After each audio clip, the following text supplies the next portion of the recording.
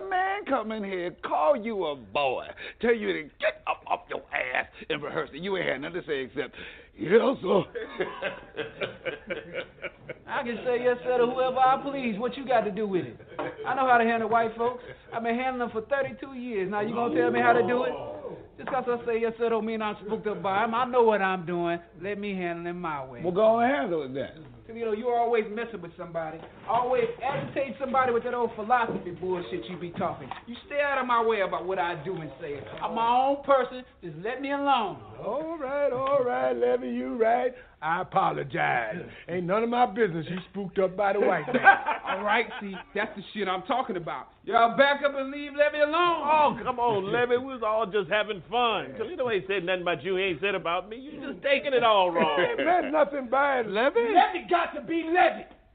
You don't need nobody messing with him about the white.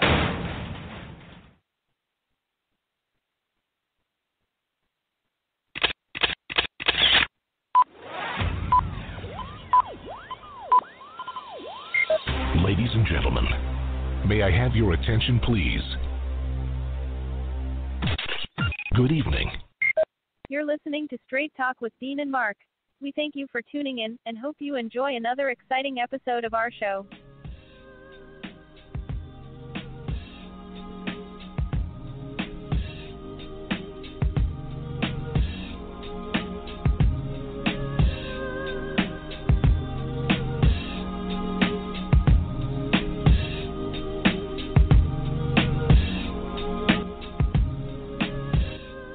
Ladies and gentlemen, welcome to another episode of Straight Talk with Dean and Mar. Ten days left in 2020, and then we head on to 2021. But what you just heard was an excerpt from uh, Ma Rainey's Black Bottom. It's on Netflix right now. It's the last performance of the great Chadwick Boseman. And if you get a chance, make sure you go and check it out. But um, we're getting ready to get to the show right now. So it's a six man Dean Geronimo from NJ to NC. I'm in the studio with my right hand man, Mark Lee. So, Mark, tell me what's good in your neck of the woods, my brother. Well, you know, all kinds of good, things in my neck of the woods. You had me a little confused there because I was sitting there going like, "What the heck am I listening to?" As we get ready to have everything turned off, I'm like, "Wait a minute, what's going on? Did I step into the middle of something? Did I not know what's happening here? What's going on here in the wonderful world of straight talk?" So y'all had me a little confused there, but I see that it was Ma Rainey, and that is a great thing. I'm hearing great things about that production on Netflix. I need to get and check it out. You know, I was over there at Hayti. You asked what's going on, and we Mhm. had the Black Santa Claus. So we had Black Santa Claus over at the Hayti both Saturday and uh, Sunday.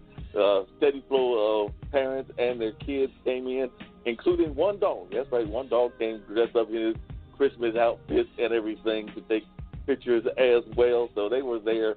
Um, you know, we are in the middle of a pandemic, so not as many people as has been in the past. So did not have as much of a crowd as usual. So they've actually wrapped it up for this year, but I think they're going to do a sleigh by uh, later on or something along those lines. So there's still some opportunities for people to see Black Santa Claus and everything of that nature. So that's one of the things that is going on in town, and I've got to go back over there on Wednesday because you know even when the building is closed, you still got to have your crews come in, whether that's the exterminator, whether that's the plumber, whether that's the whoever, and we got to have somebody come in and do some uh, standard ma- uh, maintenance, standard upkeep. So I will be there on Wednesday morning dealing with some standard upkeep, standard maintenance. But you know, one thing I can tell you is that anytime that things happen, then folks get new toys. So we're actually getting some streaming equipment at the Hayside that's getting installed, and we're getting some video cameras, and they're also getting some uh, new alarm systems and a lot of other new things. So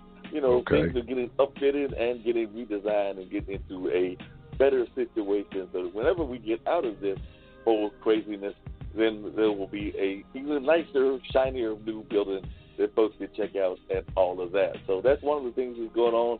I know Mhm. that, like you, you've probably been following what's going on in the news, and I see that you've got and a uh, bill that's coming due that's supposed to get us some money in our pockets. I know I could use the money in my pockets, but I've been told that that money may not show up till you know January, February, who knows, maybe March or April. Because you know, even though that passed, they still got to like get it through and get it into your pockets and all that. And I hear they're going to try to um, what you call it, uh, fast tracking. But you know, Washington's idea of fast tracking and my idea of fast tracking may not be the same thing. Because my idea of fast tracking is, you know, pass the bill, uh, you know, call some people real quickly, and it's in my account by like Friday or Saturday. But I don't think that's Washington's idea of fast tracking. I think their idea of, you know, uh, pass the bill, do lots of hemming and hawing, do lots of talking about we did this, we did that, we did this and that, and then you might get it in Mark or That's that, that's well, the Washington idea of fast tracking is, but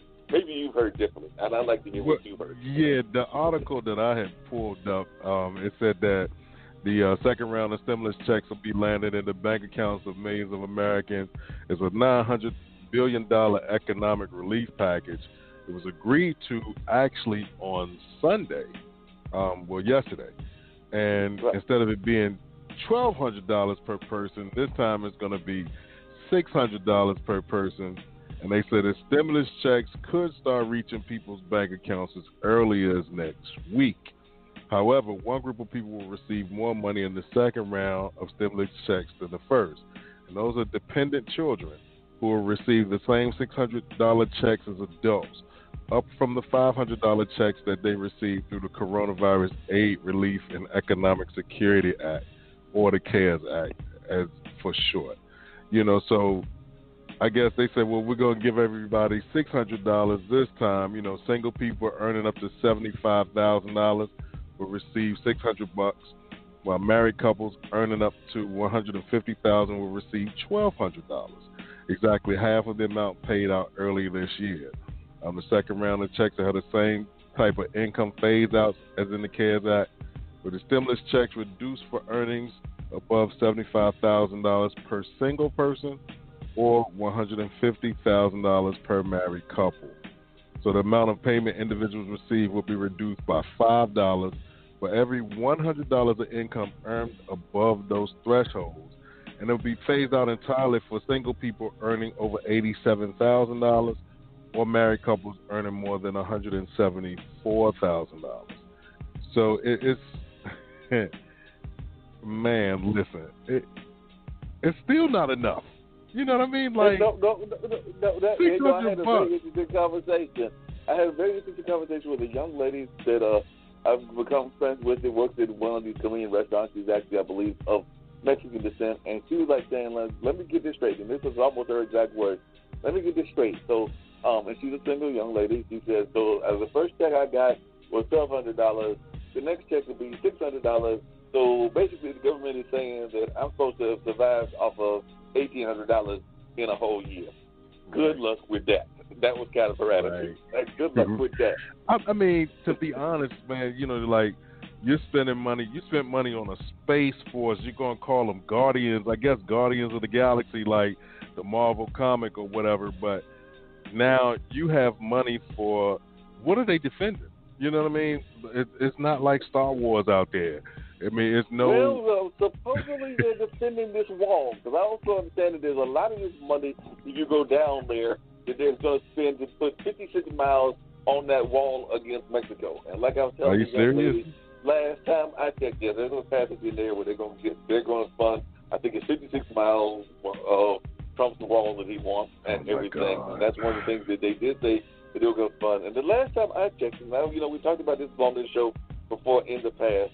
You know, I've not done a lot of construction work. I can't say that I've done any in my life, but I've done some work with some people that have done construction work and things of that nature. And the last time I checked, a lot of times the folks that are at those construction sites, it's a lot of Latin American folks, a lot of you know um, yeah. folks of Mexican descent, other descent. There might be some brothers and sisters, might be some uh, white folks there. There might be some other folks there, but I would say that the vast majority of the crews that I've seen look very brown and very Latin. So if you're building a wall in Texas, I put so many trap doors in that wall, it ain't funny. I'm, I'm, I'm, and, I'm, and, I'm, and I'm gonna hit, and I'm gonna hit instructions. I would be like, look, if you see that, if you see that thing that looks like a phone, it's not really a phone. Just like it, it'll open the door. Get, got it? Man, listen if they could get a whole tunnel to get El Chapo out the prison, I'm quite sure they'll be able to make some things happen. So that wall is a waste of money, dog. It could go to, you know, people in this country that are actually um, in need. You know, I'm not gonna say suffering, but at the same time, they are in need, and it would be wiser for our country to use funds in that way. That wall means nothing. I mean, to this day, you have individuals who get deported, and within 90 days, they're back in the country. You know, so like I said, that that wall makes no sense to me whatsoever. I do not get the wall. I don't get that at all. But you know, we also got like some real crazy uh folks that you know think they can get away with drug stuff as well. Because I know you were talking about what's happening in North Carolina, but we had a major drug bust. I think they busted them for like cocaine, heroin, and everything else. And yes, it involved fraternities from Duke, UNC, and Appalachian State. And apparently, some of these folks graduated like years ago, and they have now been busted and they were part of like a big sting that they are still feeling the repercussions from because you know they but they were college kids and they thought that they could just get away with a little bit of any old thing. So they have now Mm-hmm. been caught and will have to pay the repercussions. But uh, they have been definitely busted. And like I said, I know those were three universities that were included. There might have been others as well, but yeah, it was a major drug bust. And like I said, I think there were some current students and a bunch of those that graduated within like the last ten years or so. So definitely that's one of the things that's been going on here. And then of course we got folks that are getting stupid, popping off at each other with weapons and things of that nature. So and then Right. of course we got the vaccine rolling out because apparently the folks are rolling out on the vaccine. But I did hear a scary stat, and I want to know what you think about this. Speaking of scary stats, I was watching the news yesterday, and I think he's come down. But I was watching our good friend Lippy Roy. You know, Lippy's been on our show a couple of times, and she's now with MSNBC and NBC and a couple of those kind of networks and everything. And now she's was friend Tree's show. And what she said is that I think it was her that said that she heard that Mr. Fauci, you know, the man with the plan, with the uh, kind of like the real man with the plan in terms of the way we should deal with this and everything. He is like, I want to say 300,000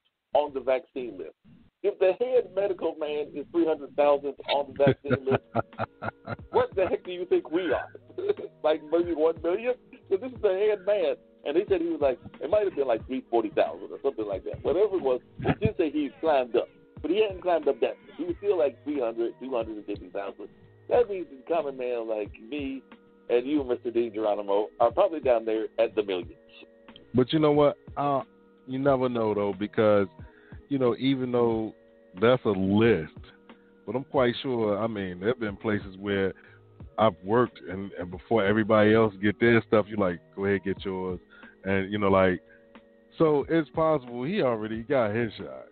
And he's like, yo, just put me on the put me on the list. I don't care where you put me. You know what I mean? So now he's way down there on the list. Man, he got a shot as soon as they broke the packaging out of that joint. He's like, yo, let me get that real quick. You know what I'm saying? This is a little bit, boom, got mine. All right, well, the rest of the world can do what it wants. I don't care where you put my name. You put my name at the back of the list. So, you know, what we see and what happens in a lot of cases sometimes are different. I'm not saying that that's what happened, but it's possible that it could have taken possible. place. You know, it's, it's very possible because I'm quite sure I'm not going to sit there and do all this research and stuff, and then it gets there, and, and I'm like, yeah, you're last. No, I'm not. I'm first. In fact, let me administer my own shot in my my little muscle tissue. Whoop. All right, this one was already open. You know, you know. So, shoot, nah, it wouldn't be me waiting for that. Mm-mm. Be like John Q up in that joint. Like, hey, uh, we about to tear this whole place up. If I don't get my shot, nobody's getting anything. I will flip all this stuff over. We start over again. You know, so we got somebody at the door, man. Got, I saw. um, I heard there was somebody at the door. We didn't see yeah, at the door. the is a- doorbell doorbell rang a few minutes ago, so you know we're gonna get ready to find out who's at the door, and um, we're gonna take care of that right now. All right. Let's see if we can get them in. Welcome to Straight Talk with Dean and Mark. You are now on the line. Tell us who you are and where you're calling from. Hey, Dean and Mark. This is Jill Van Nostrand calling from sunny New Jersey.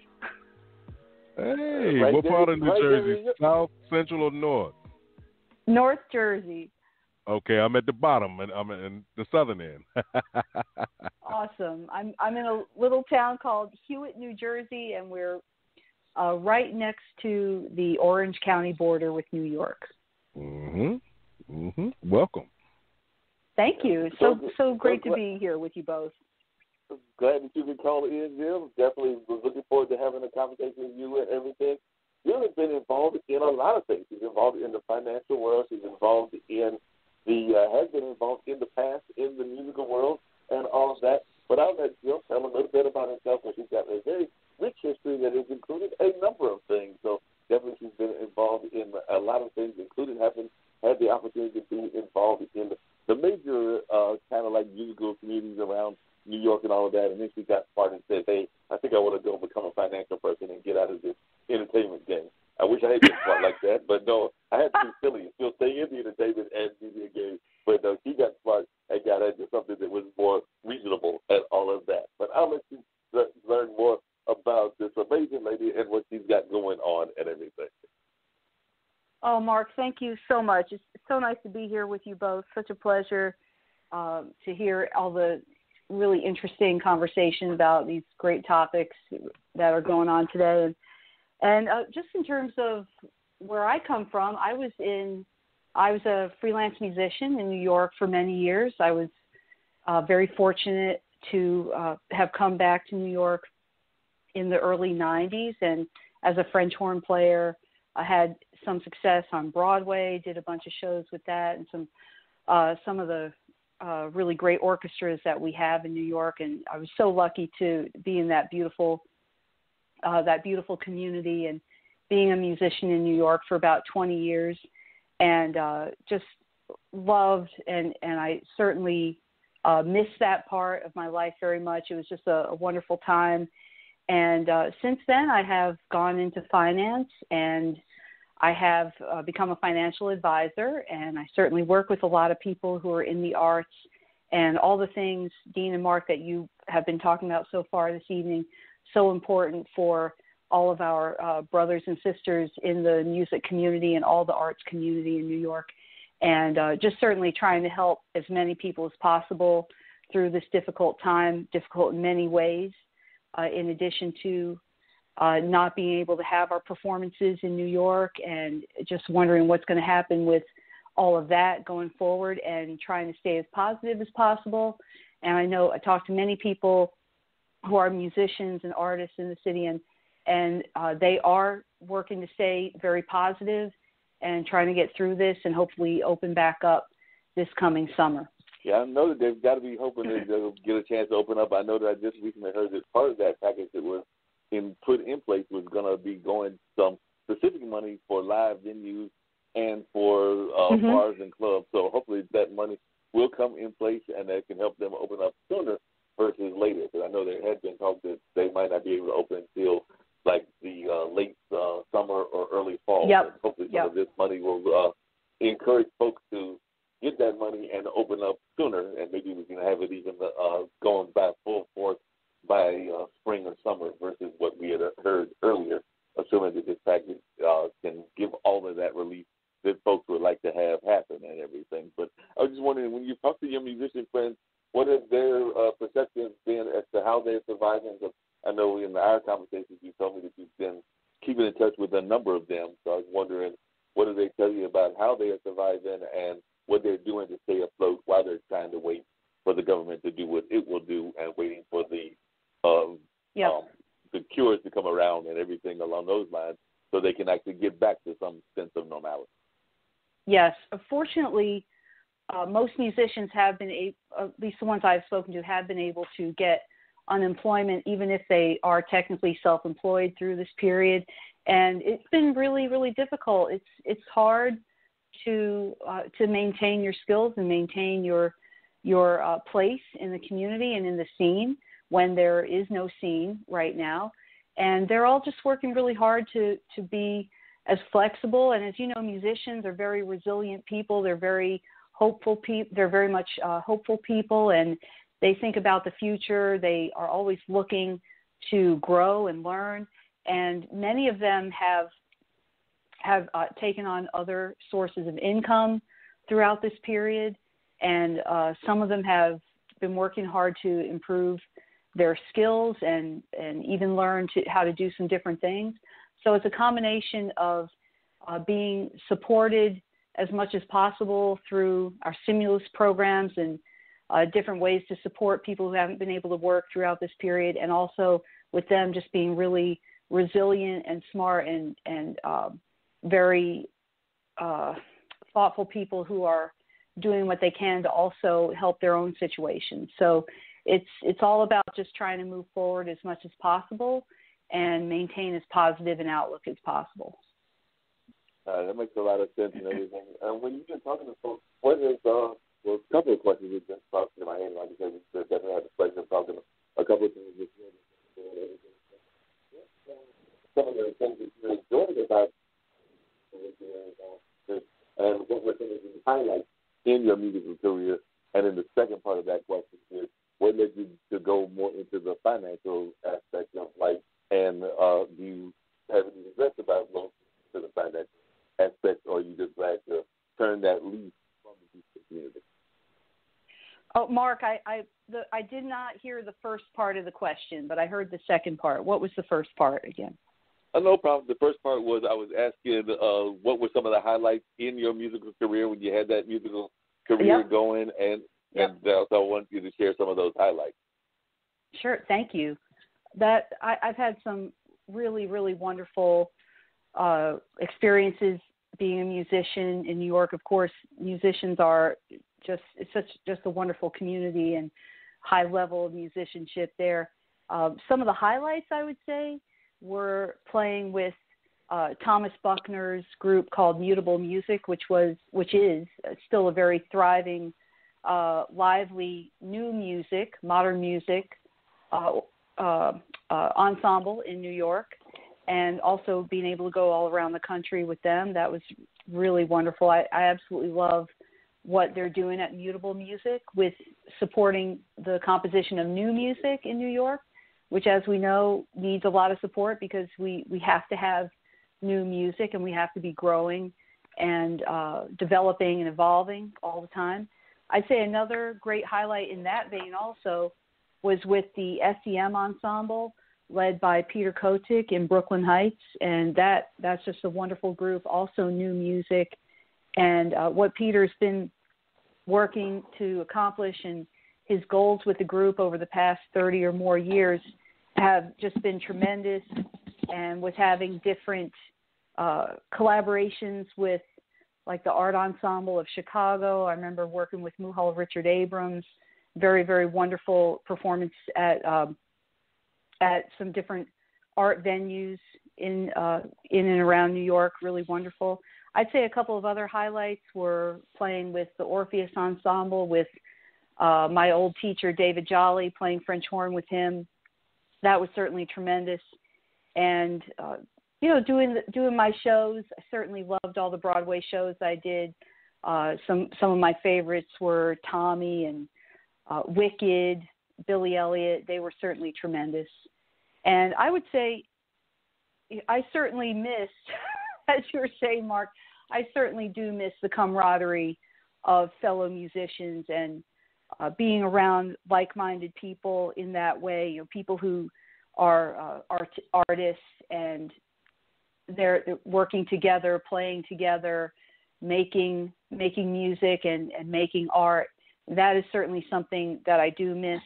I I went into finance for a couple of reasons.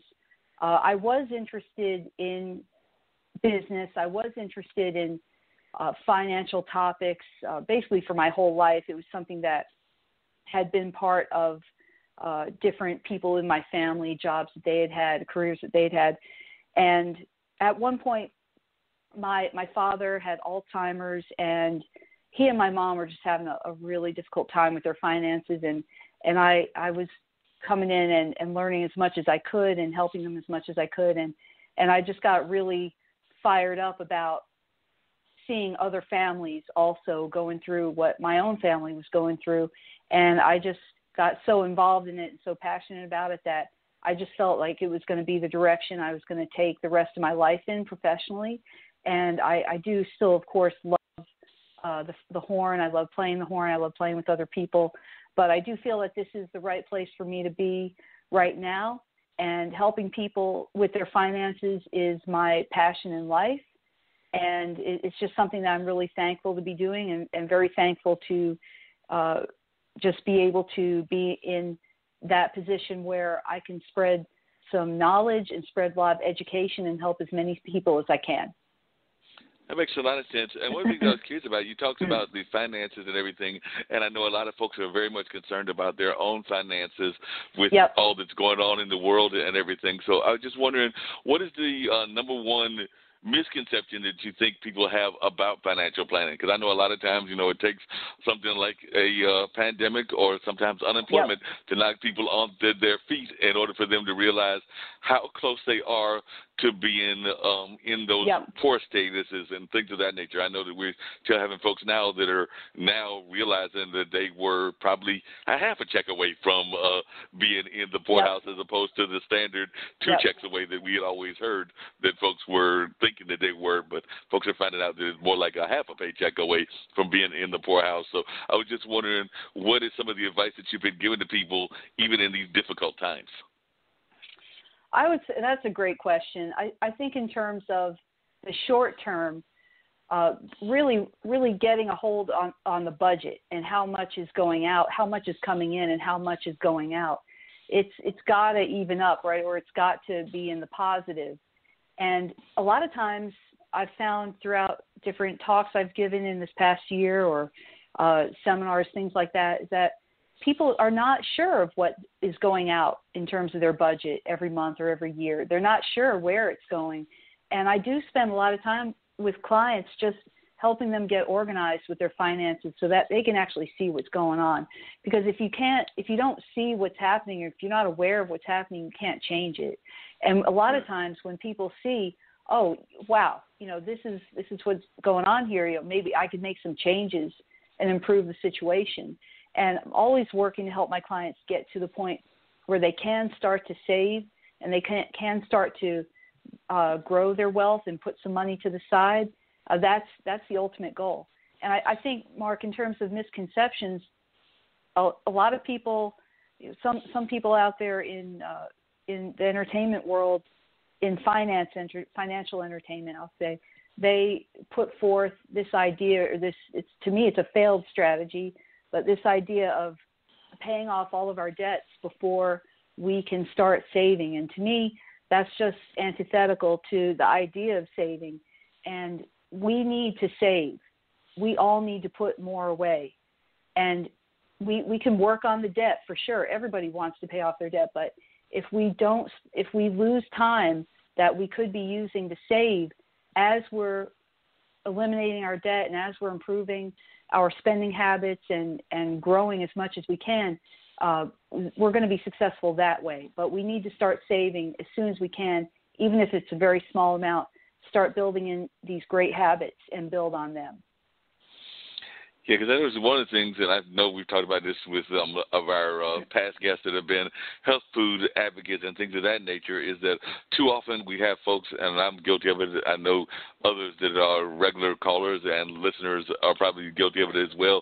But we spend way too much time eating out, and we know that that's probably not mm-hmm. helping with our economic uh, finances. But I do find a lot of times entertainers do that. A lot of times folks that are having jobs that are causing them to be away from their kitchens and everything oftentimes yes. do it as well. So, what is some of the advice that you give in that regard? And another thing that I know a lot of times people are oftentimes concerned about is student loans, and definitely we've got a number yep. of kids that are now going into student loans uh, and still continue to go into student loans, even though the whole way of education is changing with it being more hybrid now. But that doesn't stop the loans from coming. So I know yep. those are probably, probably got to be two areas that folks are very much concerned about, and I just wondered if you could talk a little bit about your thoughts on both getting away from the uh, maybe eating out as often, and definitely ways that we can uh, deal with the student loans. Because I mean, if you take the student loan out, then you got to pay it back at some point. Absolutely, great points, Mark. Those very well said. I'd say in terms of eating out, eating out to me represents something that we do have some control over. As you were saying, people who are uh, out and about all day, it can be kind of difficult to always bring food or pack food with them. But uh, whatever we decide we, we need to do or what we can do in terms of our budget, whatever we can uh, eliminate from the budget that is something that we can control, that can be a great help because there are things that are in our monthly budget, so, certain things that we can't really control, right? Like our rent or our mortgage, or uh, sometimes we can control our gas, but maybe we have a car payment, things like that.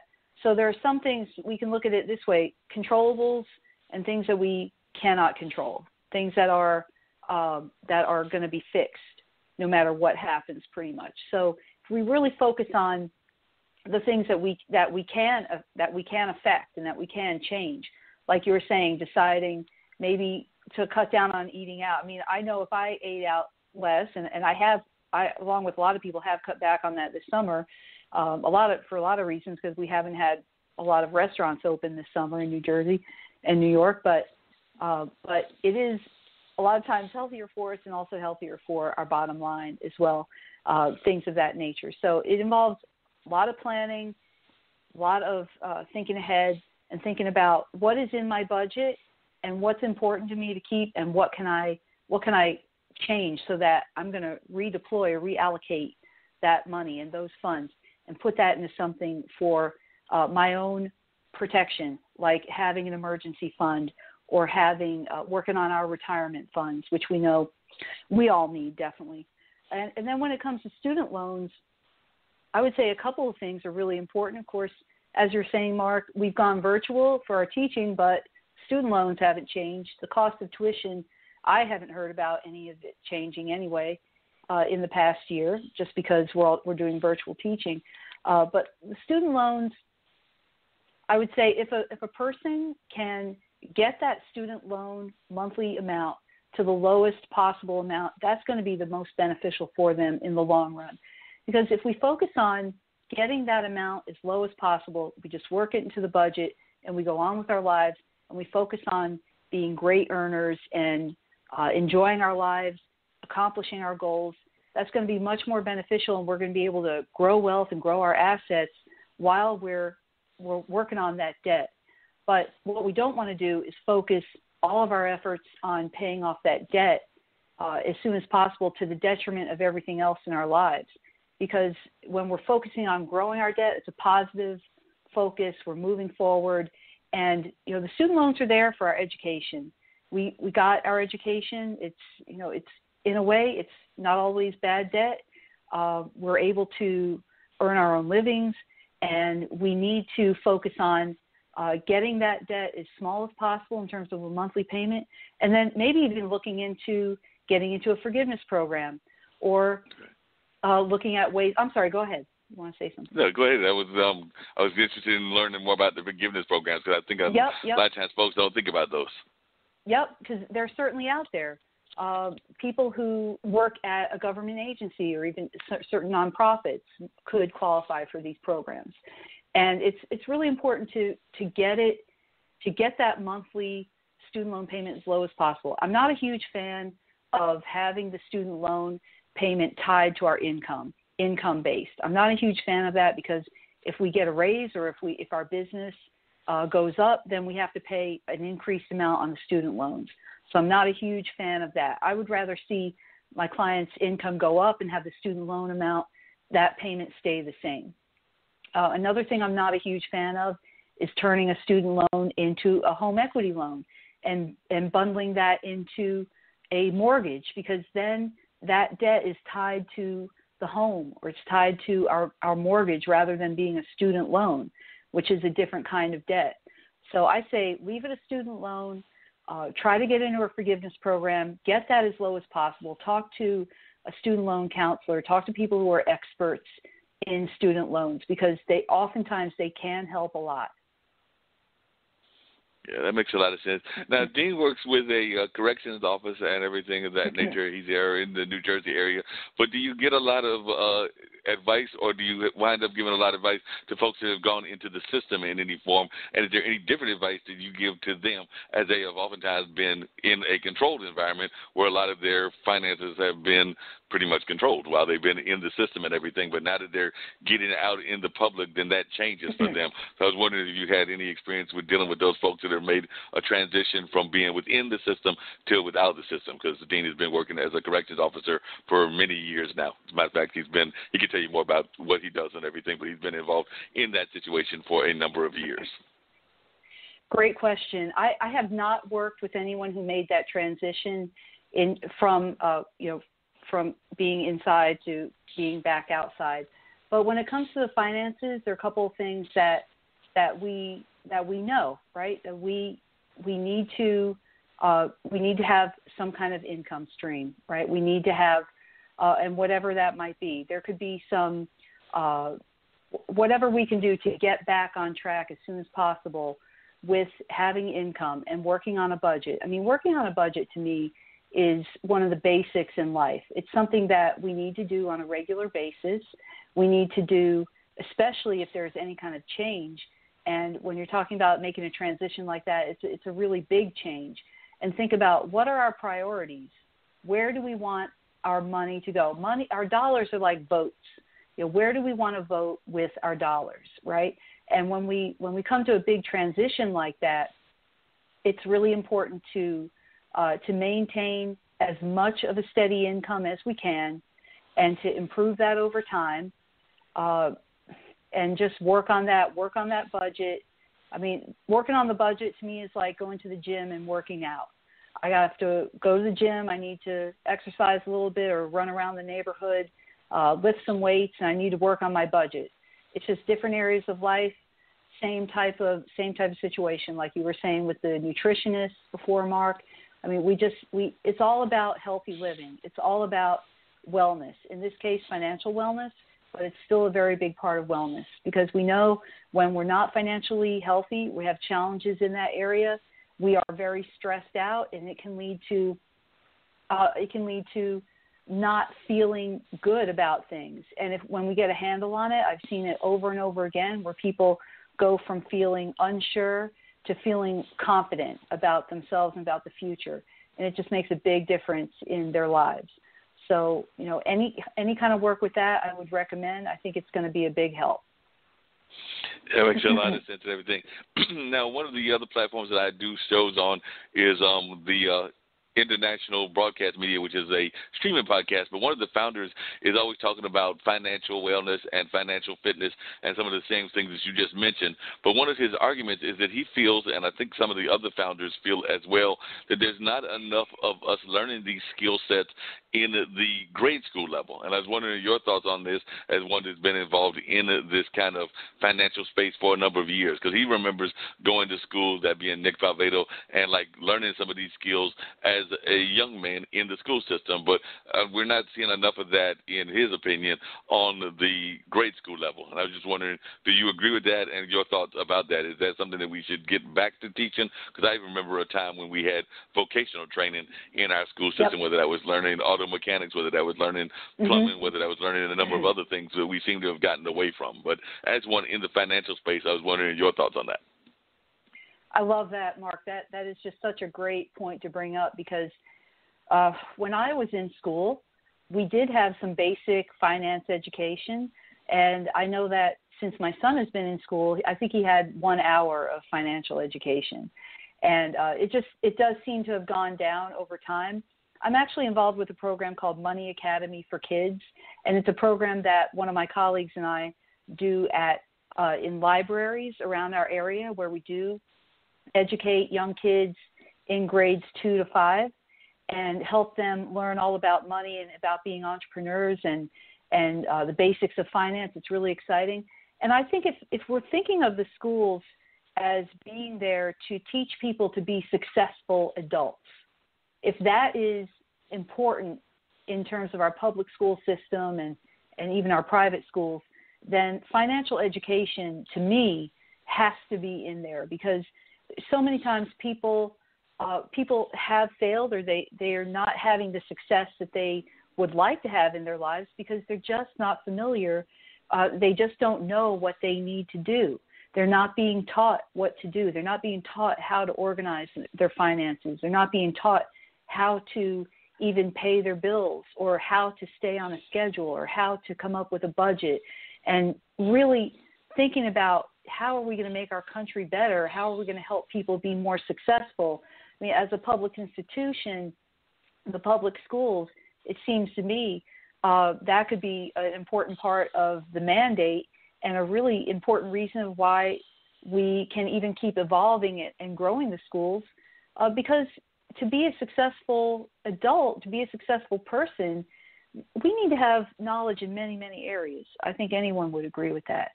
And leaving this out of the curriculum in any meaningful way, I think we're seeing the, the real negative results of that over the past uh, 20 to 25 years. And uh, believe me, I'm all for having this uh, a part of the schools and having young people, especially in grade school, middle school, learning about these concepts and learning how to how to um, be successful with their money and manage their money in a way that's going to help them achieve their goals and dreams. Because that's what being a being a financial advisor is all about. It's like a, a dream manager. That's how i think of myself helping people do things that they wouldn't be able to do on their own. And if we can start the younger we can start with that the better it is i think. Yeah, that makes a lot of sense. Now, the other thing that you had talked about, and I imagine it's probably also a deep concern for yours as well, is the fact that your um, think you said it was your dad had Alzheimer's, and I know we've had other guests that have had to deal with kind of those kinds yep. of situations and everything. So I just wondered if you could talk a little bit about your thoughts about dealing with an Alzheimer's patient or a parent and everything, because I do know a lot of times folks are um, not aware of what they're getting into when they deal with folks that have either Alzheimer's or dementia or some of these other yep. ailments. Because I know that I talked to a gentleman who lives in Oregon, and I think that he went through a lot of research around that kind of stuff as well. So I'd love to hear some of the things that you've learned from uh, what you went through with your dad. Awesome. Yeah, that that's a really great topic and so important today because uh, what the number one wealth eroding event in this country for, for families and individuals, not, not just the people who are in long term care, but their families, is long term care. And we know that people with dementia and Alzheimer's, and this definitely happened with my with my dad, which was that over time, uh, the expenses that are building up and and growing as a person needs more care as there you know as these as these diseases uh, cause decline it just grows and grows. It's a huge stress and strain on the families and the caregivers, and it's something that really uh, just destroys families' financial bases. Uh, if a family has, uh, if if a person has long-term care insurance, that could be a huge, huge benefit.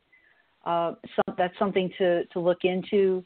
Obviously before we need it you know that would be something to look into definitely in the in the 50s or or 60s but you know barring that if that's not an option then making sure that a person has a will done a person has a power of attorney and a healthcare proxy uh, to help through these times through these difficult situations. And having somebody who can help organize uh, medical visits and uh, help if people are coming, like in my dad's case, some, some really kind people came into the home and and helped with him at home, and just having someone who can help organize all of those things is a huge relief and benefit to the family uh, because they the caregivers need relief, you know, and it's it, some of it's financial and some of it is emotional and spiritual, and that is, that is something that that is definitely really important and also finding out about the benefits that people uh, are entitled to.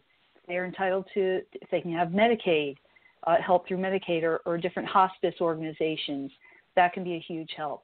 Um, I definitely learned a lot, have learned a lot about that, and help people in those situations.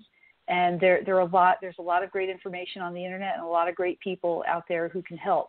And it's just a matter of looking for help and asking a lot of questions and uh, making sure that the person who needs the care is getting all the, the assistance that they can get. and you know whether they have whether they get the care in the home or out of the home. Uh, that that's a decision for them and for the family. And I think something that's really important is making sure that our families know what our wishes would be in that situation so that they can make the best decisions for us. So, you know, having a will done and living will and making sure that all of our families know what we would want to have done in that situation is really, really important. Yeah, I can definitely understand Yeah. that. what advice would you give to folks? I know I was talking to a friend of mine, and they've actually um, were saying how fortunate I am to still have uh, both of my parents uh, living and everything, and therefore, when I'm in those financial strains, I'm able to reach out to them and things of that nature. Try not to do it too often, but do still do it even at the uh, ripe old age of the late 50s and everything. And definitely, there are folks out there like um, Dean and others that have significant others, and it's a team effort when that's going on and everything. But what kind of advice, as a financial planner, do you give for those that don't have those kind of resources at their disposal? Because I know that when I talk to a good friend of mine who is, um, I mean, he's got he's divorced and he's got kids and everything, but the kids are with their mother and everything. So a lot of times he's finding that he's having to find these very difficult financial situations out on his own. So I didn't know what kind of advice you give to folks that may not have the resources of family that I may have or that Dean may have with his wife and others. So I was just wondering what kind of advice you give for folks that are in the more difficult kind of situations with the finances, because I do know a number of folks that are in those kind of uh, predicaments, for lack of a better word. Yeah, that that's a great question, and it any I say start with in terms of looking for looking for just finding out about knowledge. Get find out what can be done. Where can we go? Um, what what um, benefits can are we entitled to and can we get to improve the situation? Uh, in terms of health care, that's really really important. If we can get health insurance uh, through the exchanges, or if we have the opportunity to get it uh, through Medicaid, that can be a huge benefit because we need to maintain our health more than anything. The health, our health is our most important asset. I think I truly believe that, and I think that's where that's where the beginning of financial wellness starts. And then just making sure that we are taking advantage of all the opportunities that we have uh, with different programs, and also with the current uh, current situation in terms of making sure that we're getting our benefits from the federal and from the state governments. Because whatever we whatever assistance and, and revenue and income that we can have through this time, is going to be a big help. And also working on the budget, working on being as efficient as possible. Those are really important ideas for all of us uh, to, to hammer home. And working together as a unit with our families, with our friends. Uh, I know people who have even moved in together, musicians, during this time, and they've they've changed you know they've changed the way they approach uh, their lives, and it's been it's been necessary through this period of time, and very very this very very difficult and challenging period of time. Uh, but I do believe that we can get through it, and we will get through it. No, I definitely agree with you on that. What advice would you give to folks in terms of budgeting? And I know a lot of times we oftentimes think about budgeting, and of course, there's Mm-hmm. always the things that you know that you can budget and that you have to budget. I mean, everybody knows Yep.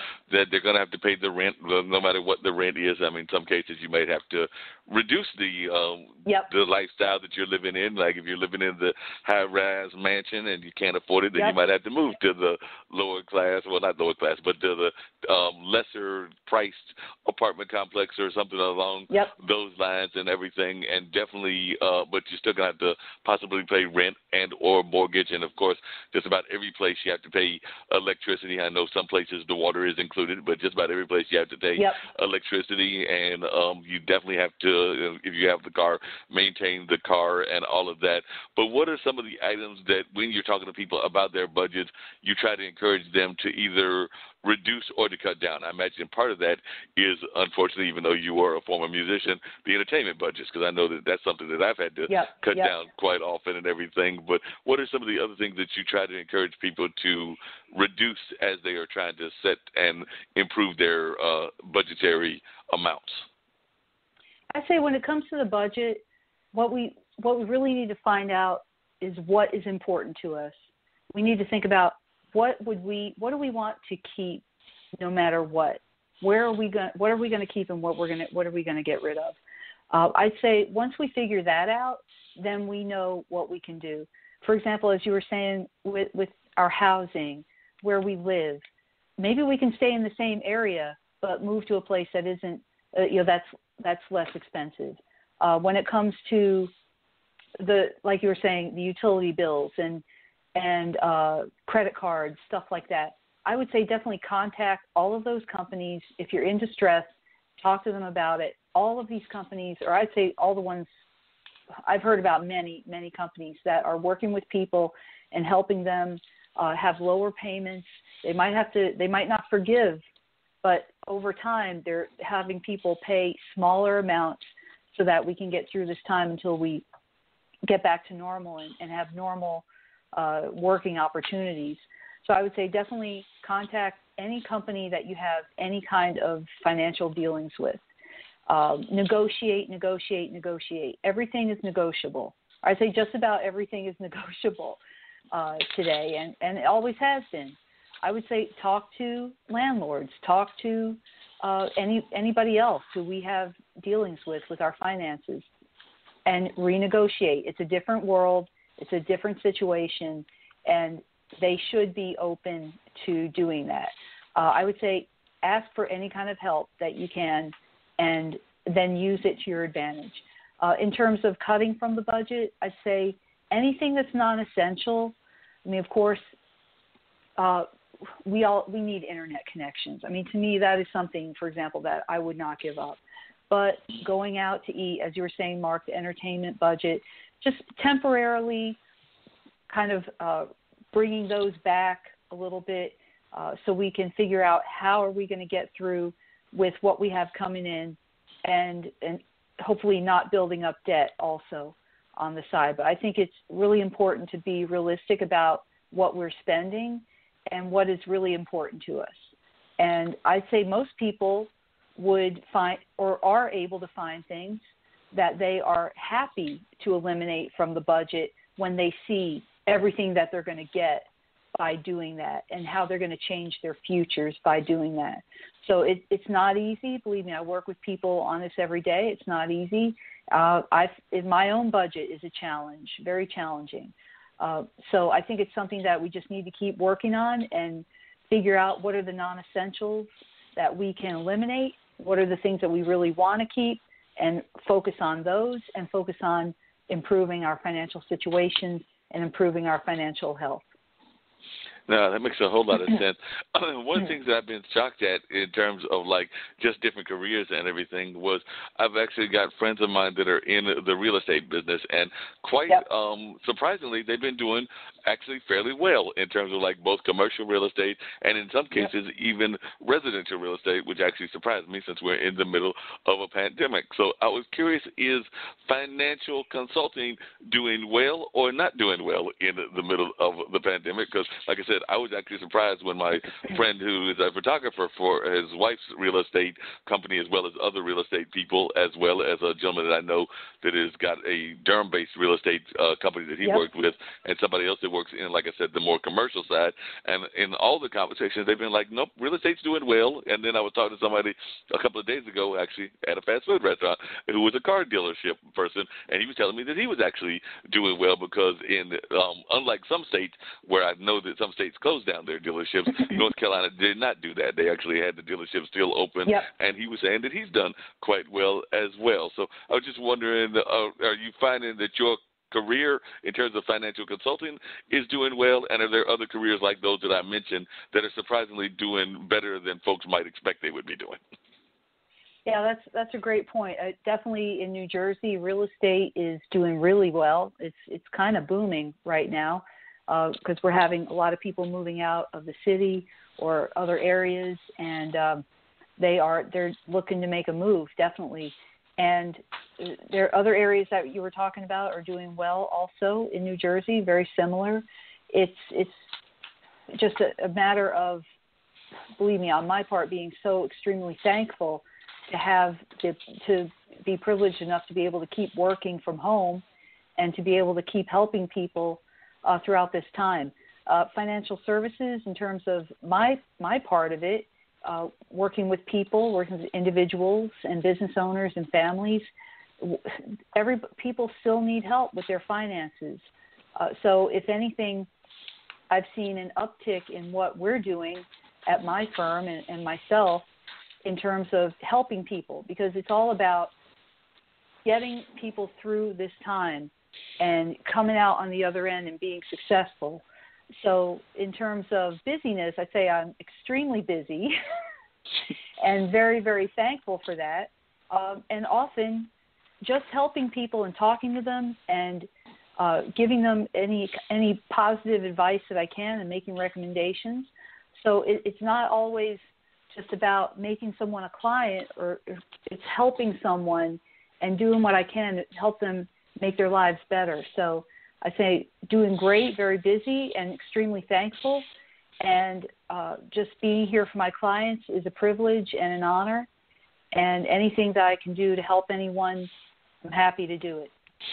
And what kind of clients do you look for in general? Because, like I said, some people that may be listening that are there in New Jersey, like Dean, as well as all up and down the East Coast and throughout the nation, as well as throughout the world. They may be listening and going like, "I need to talk to Jill. I've got some ideas that I need to be dealing with and everything." So, what do you what do you look for in the sense of a client? And does the client have to be there in New Jersey, or can they be based anywhere in the world? Uh, I can have clients anywhere in the United States, and I, I do have clients all over the country. I have a lot of clients, obviously, in New Jersey and New York, Connecticut, this area. I have a lot of clients in North Carolina. Uh, my mom and my brother live in North Carolina, and and uh, basically, in terms of a client, what I look for is just someone who wants to change their life. I don't have any minimums to work with anyone. I don't have any uh, requirements in terms of what they earn or anything like that. What what I'm really looking for is someone who is ready to take action and ready to to implement new strategies and improve their lives and uh, the lives of their families or their business. And to me, that's that's the most important thing. If someone's ready to go, they want help. I'm ready to go too. That makes a lot of sense. Now, do you see any difference in the ways that people handle finances if, say, they're in the southeast, like North Carolina, Virginia, mm-hmm. or Georgia, versus the northeast, or versus the west coast? Are there any regional differences? Since, like you said, you can't take clients all over the country and everything. And I was wondering, have you observed any regional differences? And if so, what are those regional differences? That's a great question. I, I haven't I haven't observed so much of differences in terms of what people care about because I think people pretty much care about the same things. Uh, they want to protect their families, they want to protect themselves, they want to uh, improve their financial situations, they want to grow their wealth, they want to improve their businesses. But I'll tell you, the people in the southeast are extremely uh, friendly and and warm, and uh, the people in the northeast, as you would probably think, are uh, they want to do things very, very quickly, as fast as possible. And I'd say on the West Coast, uh, they're pretty laid back out there as well. And uh, and the Heartland, they you know they're they're as solid as they come. So I definitely, Mark, noticed some differences in their in their demeanor and in their in their uh, superior friendliness. Um, and and that that's just wonderful to me. I just I love to talk to people all around the country, and and I'm pretty good dealing with time zone changes, so not so bad on that front, thank goodness. And uh, just you know, just being able to help people and and talk to them about their lives and and help them achieve their goals. That's what that's what I'm in this for. And uh, any good that I can do, I'm just thankful to be able to do it. No, that makes a lot of sense and everything. now, do you ever regret not going back into the music field or being in the music field? And do you ever think that you want to get back into it and leave this lovely world of financing after we get done with this pandemic and you've solved everybody's financial problems? So, do you ever miss the uh, entertainment aspect of what you did for about 20 years or so? Oh, Mark, I, I miss it so much sometimes. I miss uh, playing. In, I miss playing in orchestras and, and bands with people, and I I miss that that camaraderie and that sense of uh, just being so together and being close with other people. and uh, of course, I, I do miss it. Uh, fortunately, I, I do still play in a couple of orchestras here in New Jersey, and so as soon as COVID is over, I hope that uh, that we get back to it. One of them is the, the Riverside Symphonia in Lambertville, New Jersey, which is near and dear to my heart. And uh, they're they're so kind as to keep letting me play there, even though I am in finance now. But I think I'm in finance to stay, and uh, I do I do miss the music world, but I do have the memories, and I have a lot lot of great uh, lot of great pictures too. So, you know, that's that's uh, where I am today. Yeah, I'm sure you've got some of those great memories. If you would share with our audience some more details about some of those memories, like I said, you mentioned some of them, but I'm sure that we would love to hear some stories about some of the things that you were involved in in some of those great shows, and I'm sure that the audience would love to hear you share some of those wonderful stories about some of your past performances. Oh, I I love I I tell you I say one of the a couple of the highlights would be improvising with uh, Muhal Richard Abrams at the New York Studio School. That was tremendous. Uh, he's wonderful musician. I, I love improvisation. I love improvising and and doing any kind of group improvisation like that is just really tremendous. Um, I, I also remember playing at Carnegie Hall with Orpheus and uh, Mozart symphonies there, Beethoven. Uh, just really wonderful and being in that beautiful beautiful space at Carnegie. You just it just can't be beat. It's just absolutely the, one of the most beautiful places to play in the whole world. And uh, I would say those are a couple of my favorite highlights. And uh, in terms of shows, I, I just miss Tommy. Tommy was my absolute favorite show I did, and uh, playing with that band with those wonderful singers and actors up on stage just a just a tremendous memory going all the way back to the early 90s 1992 i believe that was 1993 and uh, just just wonderful musical and camaraderie experiences in new york. And the best people in the world are in, musicians in new york. And then going down to places like uh, the knitting factory and smalls after our performances were over to go hear some some great jazz down there. And uh, some modern, some new contemporary uh, classical music, just really wonderful experiences. And uh, those things you just never forget. They just stay with you forever. Yeah, that makes a lot of sense. Now, did you do any of the traveling with Tommy? And if so, were there any places that you enjoyed traveling to, or were you pretty much just in that New York, New Jersey area, or did you get to do any of the uh, traveling shows? I did some traveling. Uh, not so much with the shows. Billy Elliot was the only one I, I did any traveling with, and I actually went to Durham with Billy Elliot uh, many about ten years ago, or a little more than ten years ago now, uh, maybe more like thirteen years ago. but uh, but I love Durham. It's it's a great town, and we had so much fun there. But I'd say in terms of traveling, I was very very fortunate to be able to go all over Europe and uh, spend a lot of time in the Czech Republic and Germany and uh, the Netherlands, playing in different uh, halls there, a little bit in Russia, and uh, one and uh, also going to Japan and the, the Far East. Those were some great experiences. Uh, I was fortunate enough to uh, to be playing in a, a brass quartet, which was part of a, a, youth outreach program through Carnegie Hall. It was called Carnegie Kids. Uh, the program doesn't exist anymore, but uh, we would play in Carnegie Hall, and then uh, we went to Japan and would play over there for the kids over there. And uh, we had a terrific show. It was a pirate themed show with an actor, and she was just tremendous. And uh, the kids over in Japan just loved at the time. They absolutely loved uh, anything with a pirate theme. They just went crazy over there. But I've I've been really really fortunate to be able to travel and and all over the United States um, I went with uh, Thomas Buckner and Mutable Music out to California and San Francisco many times and played out there to those wonderful audiences and and just being able to feel a real connection between the performers and the the audience and, and to feel that that uh, electricity there in, in those performances just just so wonderful and uh, I do miss all of that very much. I miss the traveling uh, that is something that that I really enjoy myself. I love getting on planes and going to see exciting new places and being able to play in different halls. Uh, I had the fortune to to play in uh, the orchestra hall in Munich one summer uh, many years ago, and, and wonderful orchestral music, uh, Pines of Rome, uh, some you know different pieces, Beethoven, and, just wonderful, wonderful pieces, wonderful places to go.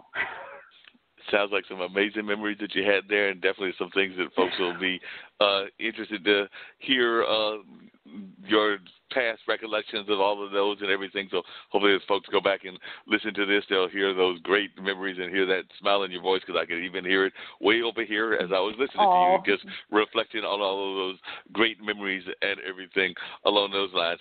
Coming back to the financial aspect of your life and everything, one of the things that I've noticed is that a lot of people right now, and it actually even thinks back to our artist community, are thinking Yep. about alternative kinds of ways of financing. I was wondering what your thoughts are about this. I've heard a lot of people that are now thinking about, you know, getting involved in the stocks or getting involved in investment trading.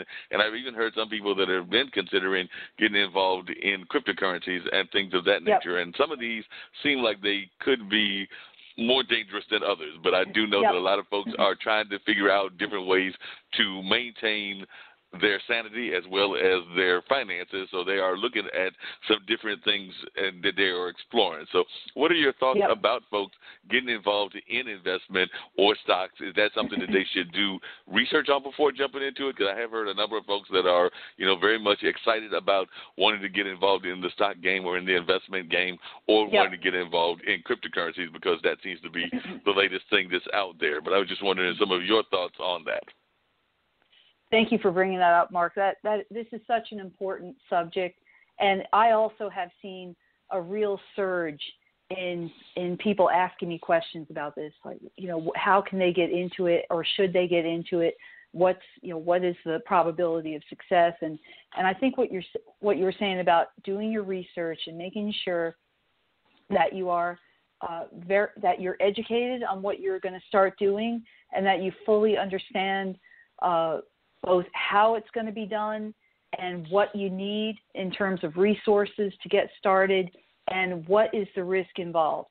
Uh, there, you know, when, when we talk about trading stocks and uh, cryptocurrency, we need we need to really know what we're doing before we really start dipping more than a toe into that into that kind of that area that field because uh, when people uh, who are professional traders they they have a ton of education they have a ton of experience they learn uh, beside people who've been doing this for for their entire careers so i do take it very seriously uh, when people ask me about you know should i start trading stocks should i start should i look into cryptocurrency and I'd say in in the case of cryptocurrency, it's here to stay. It's not going anywhere.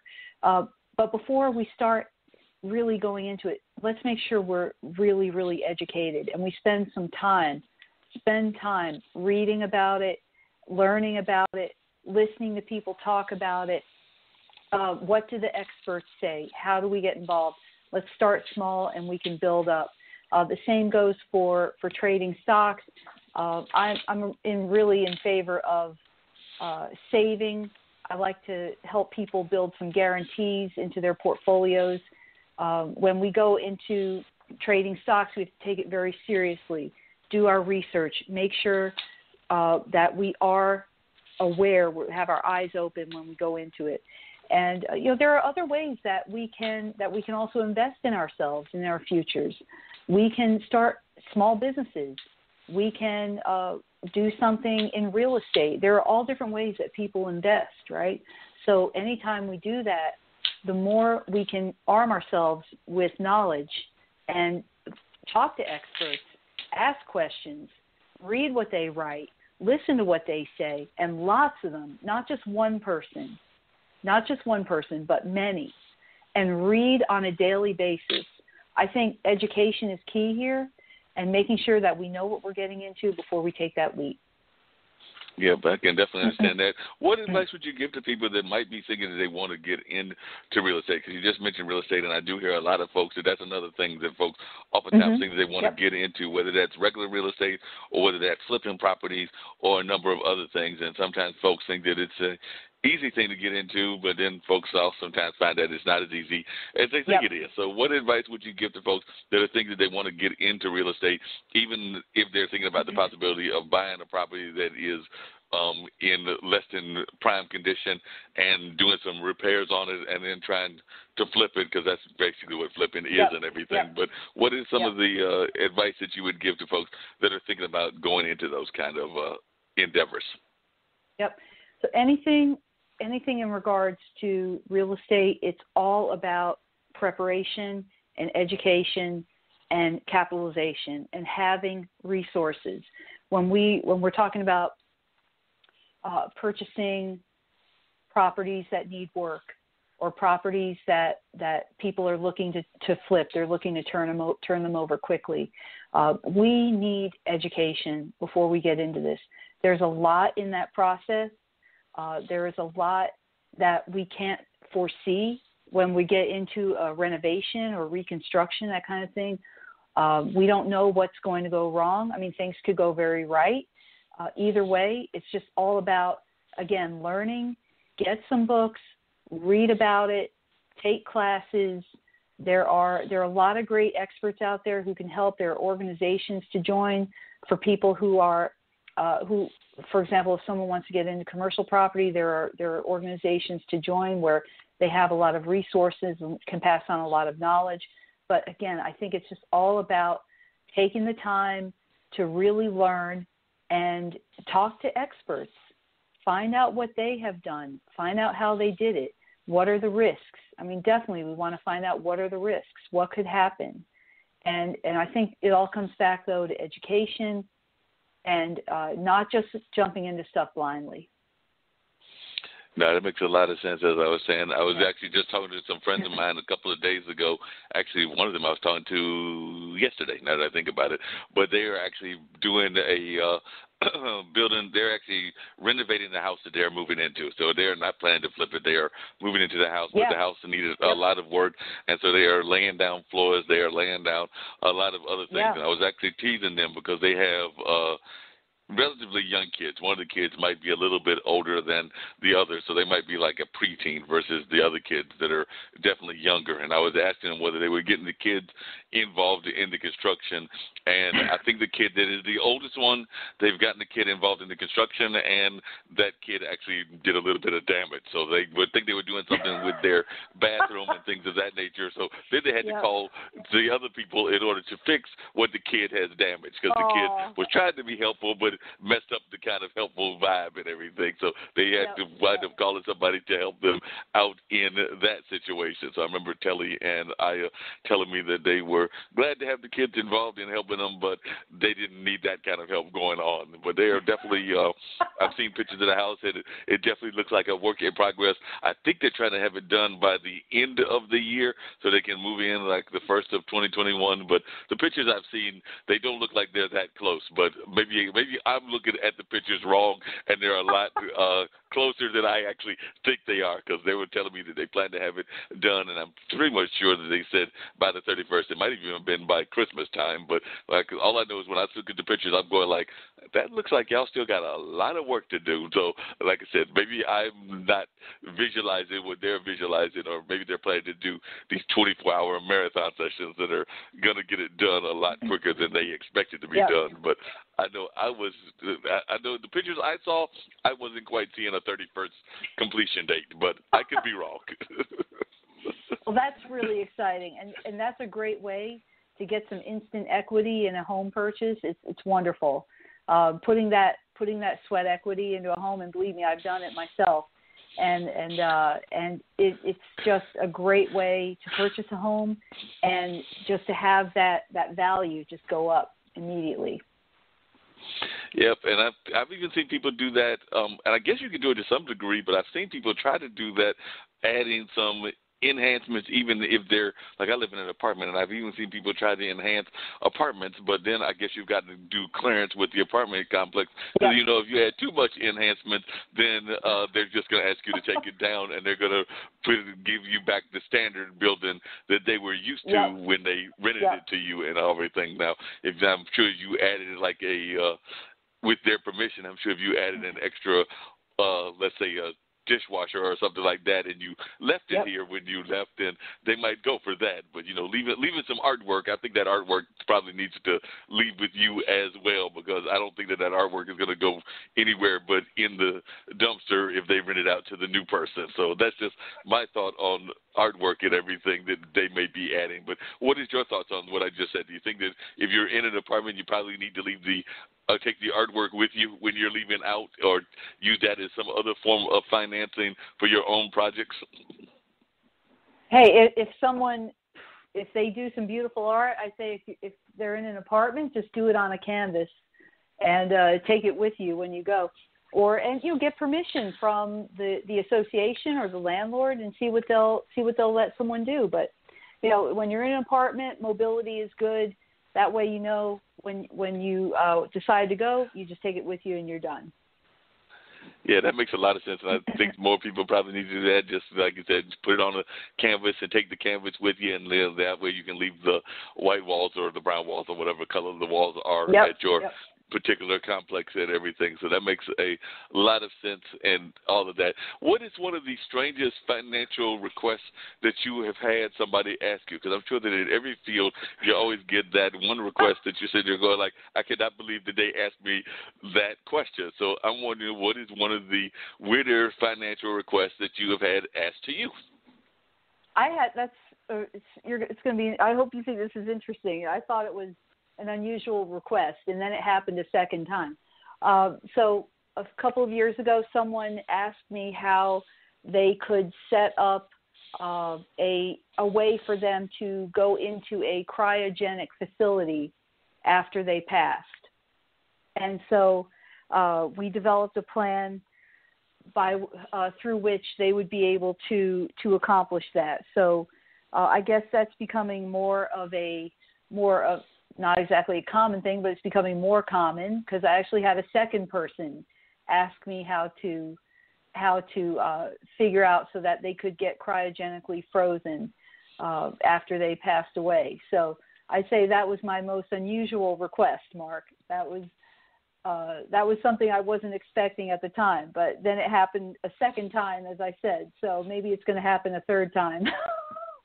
Third time will be the charm, and you'll be sitting there going like, "Baby, this is a new trend. I can go, I Yes. can market this new trend, and I can Yes. just do, part, make this part of my financial planning packages and everything." Because uh, Dean doesn't know this, but he really wants to know how he can get financially some uh, planning money. We were talking about the Guardians earlier, which apparently is this great space force. So I'm thinking that there's going to be somebody that's going to come along, not Dean. I'm just teasing Dean right now, but I'm Yep. sure somebody's going to come along, and they're going to want to know how they can finance going either on a space trip or joining the Oh, Guardians. yeah. So. You, I'm sure that you haven't had that yet, but I've expected that as we go further into the 21st century, that somebody, particularly maybe one of these young millennials or Gen Z people, is going to ask you how they can finance these trips to space. Because last time I checked, none of them are cheap. They're, matter of fact, they're very expensive.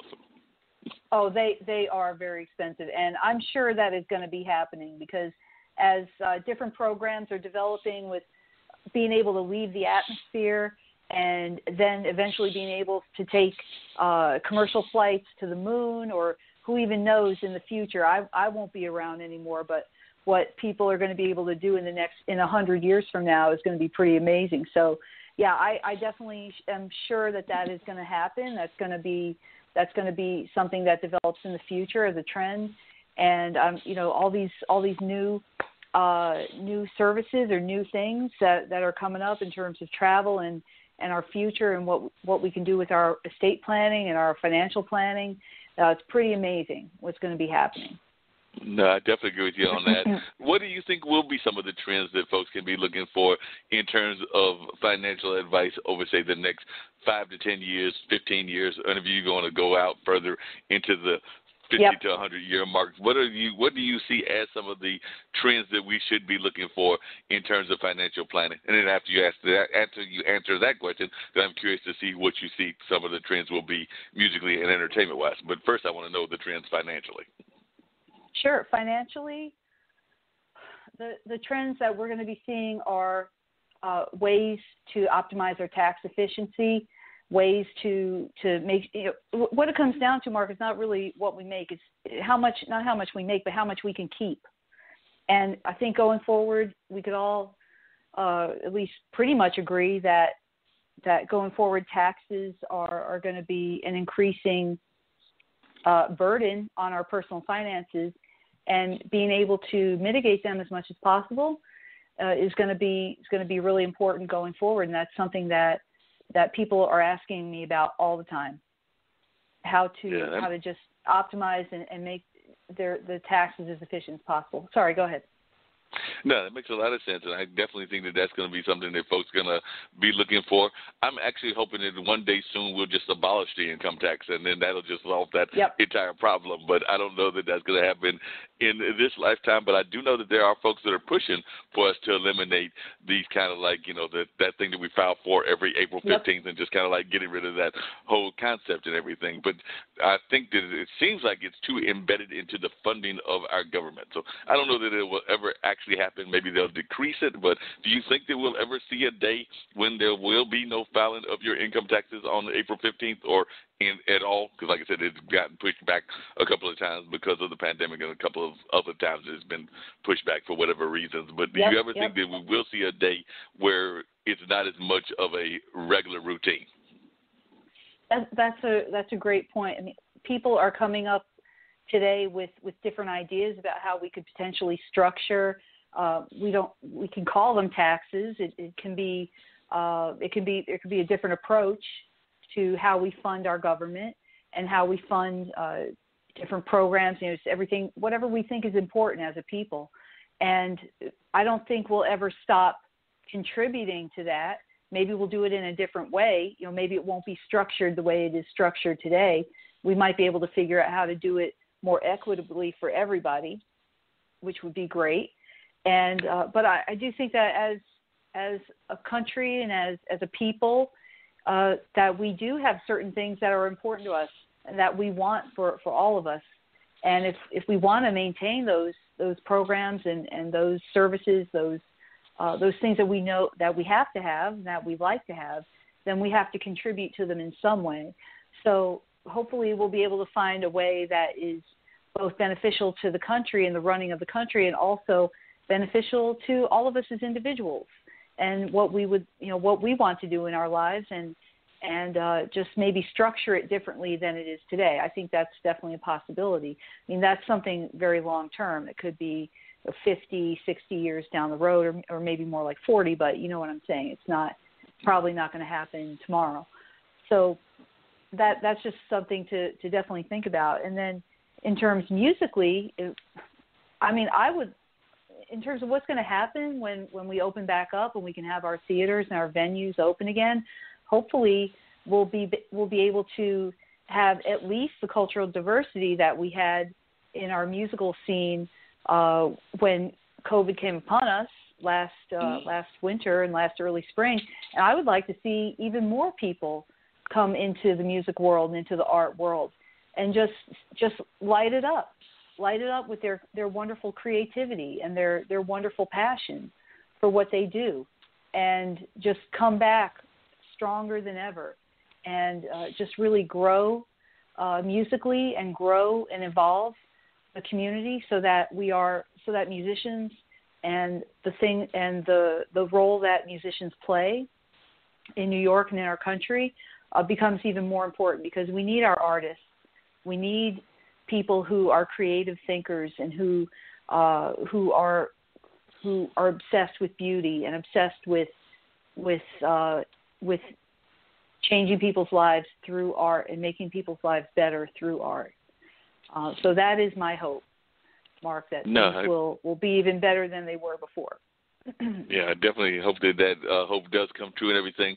One of the things that I'm concerned about, and I don't know whether you've thought about this from both a financial standpoint and a musical standpoint, is that a lot of people are speculating that when we open up, that we're going to have to open up with new precautions put in place. Whether that's uh, yep. everybody wearing masks, whether that's everybody um, being tested before they come in, whether that's even tests that have to be administered before you go in. I know I was watching a yep. news special about a week or two ago, and they were showing like this monitoring equipment that they would have to have you passed uh, on your body and everything to make sure that you yep, had had yep.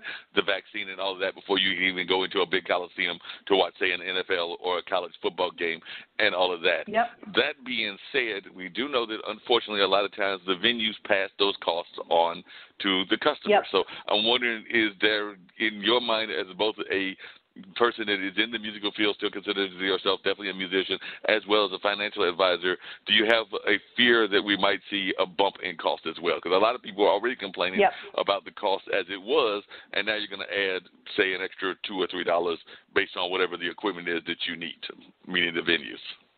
Yeah, it's definitely something that I've thought about and that I've heard discussions about that ticket prices could be increased and and it's something that I certainly hope doesn't happen. If if something has to happen because of all the regulations and guidelines that we have to follow, uh, my my hope is that we will somehow be able to overcome that and still be able to, excuse me, have uh, have our theater productions and and have them be at least similar in cost to what they were before COVID started. Uh, that if they have to open at half capacity or something like that, it could be that could be a really tall order and might be impossible. But I mean, that is my hope that we can somehow work around that. I, I, I mean, we don't want to make these live experiences out of reach, and we ha- to you know we want to still we still want to connect with people and with audiences, and I think we have to be really creative about how we do that uh, from now on, at least until we get through this in the next couple of years. So, I mean, it would of course it would be the hope that that that wouldn't happen, but of course it could happen, and depending on how we reopen, it, it there's a very good chance of that. Yeah, because I guess one of my other fears, and I've actually got friends in the virtual reality as well as the uh, AI spaces and all of that. But I guess my other fear is that we might start creating more of those Michael Jackson kind of like concerts and things of that nature, meaning yep, that you're not yep. actually seeing the live person. Right and I, there, for right. one, enjoy the live experience and uh, seeing the live musicians, seeing their body language, watching the chemistry between the musicians as well as the chemistry between the musicians and the audience. And I'm not knocking virtual spaces and computer spaces, but it doesn't have that yep. same energy to me. But as we move further into the space age and into the 21st century, and as we're dealing with the consequences of the pandemic, I'm afraid that we might see more of these kind of uh, hologram type shows and everything yep. that are yep. not the fully capturing the art of the artist, but that might just me and my fears. I was wondering, do you have similar kind of fears that we might see more of these technical kind of concerts that aren't the same as the true live performances? Yep, I think we are. I think that's going to be a reality.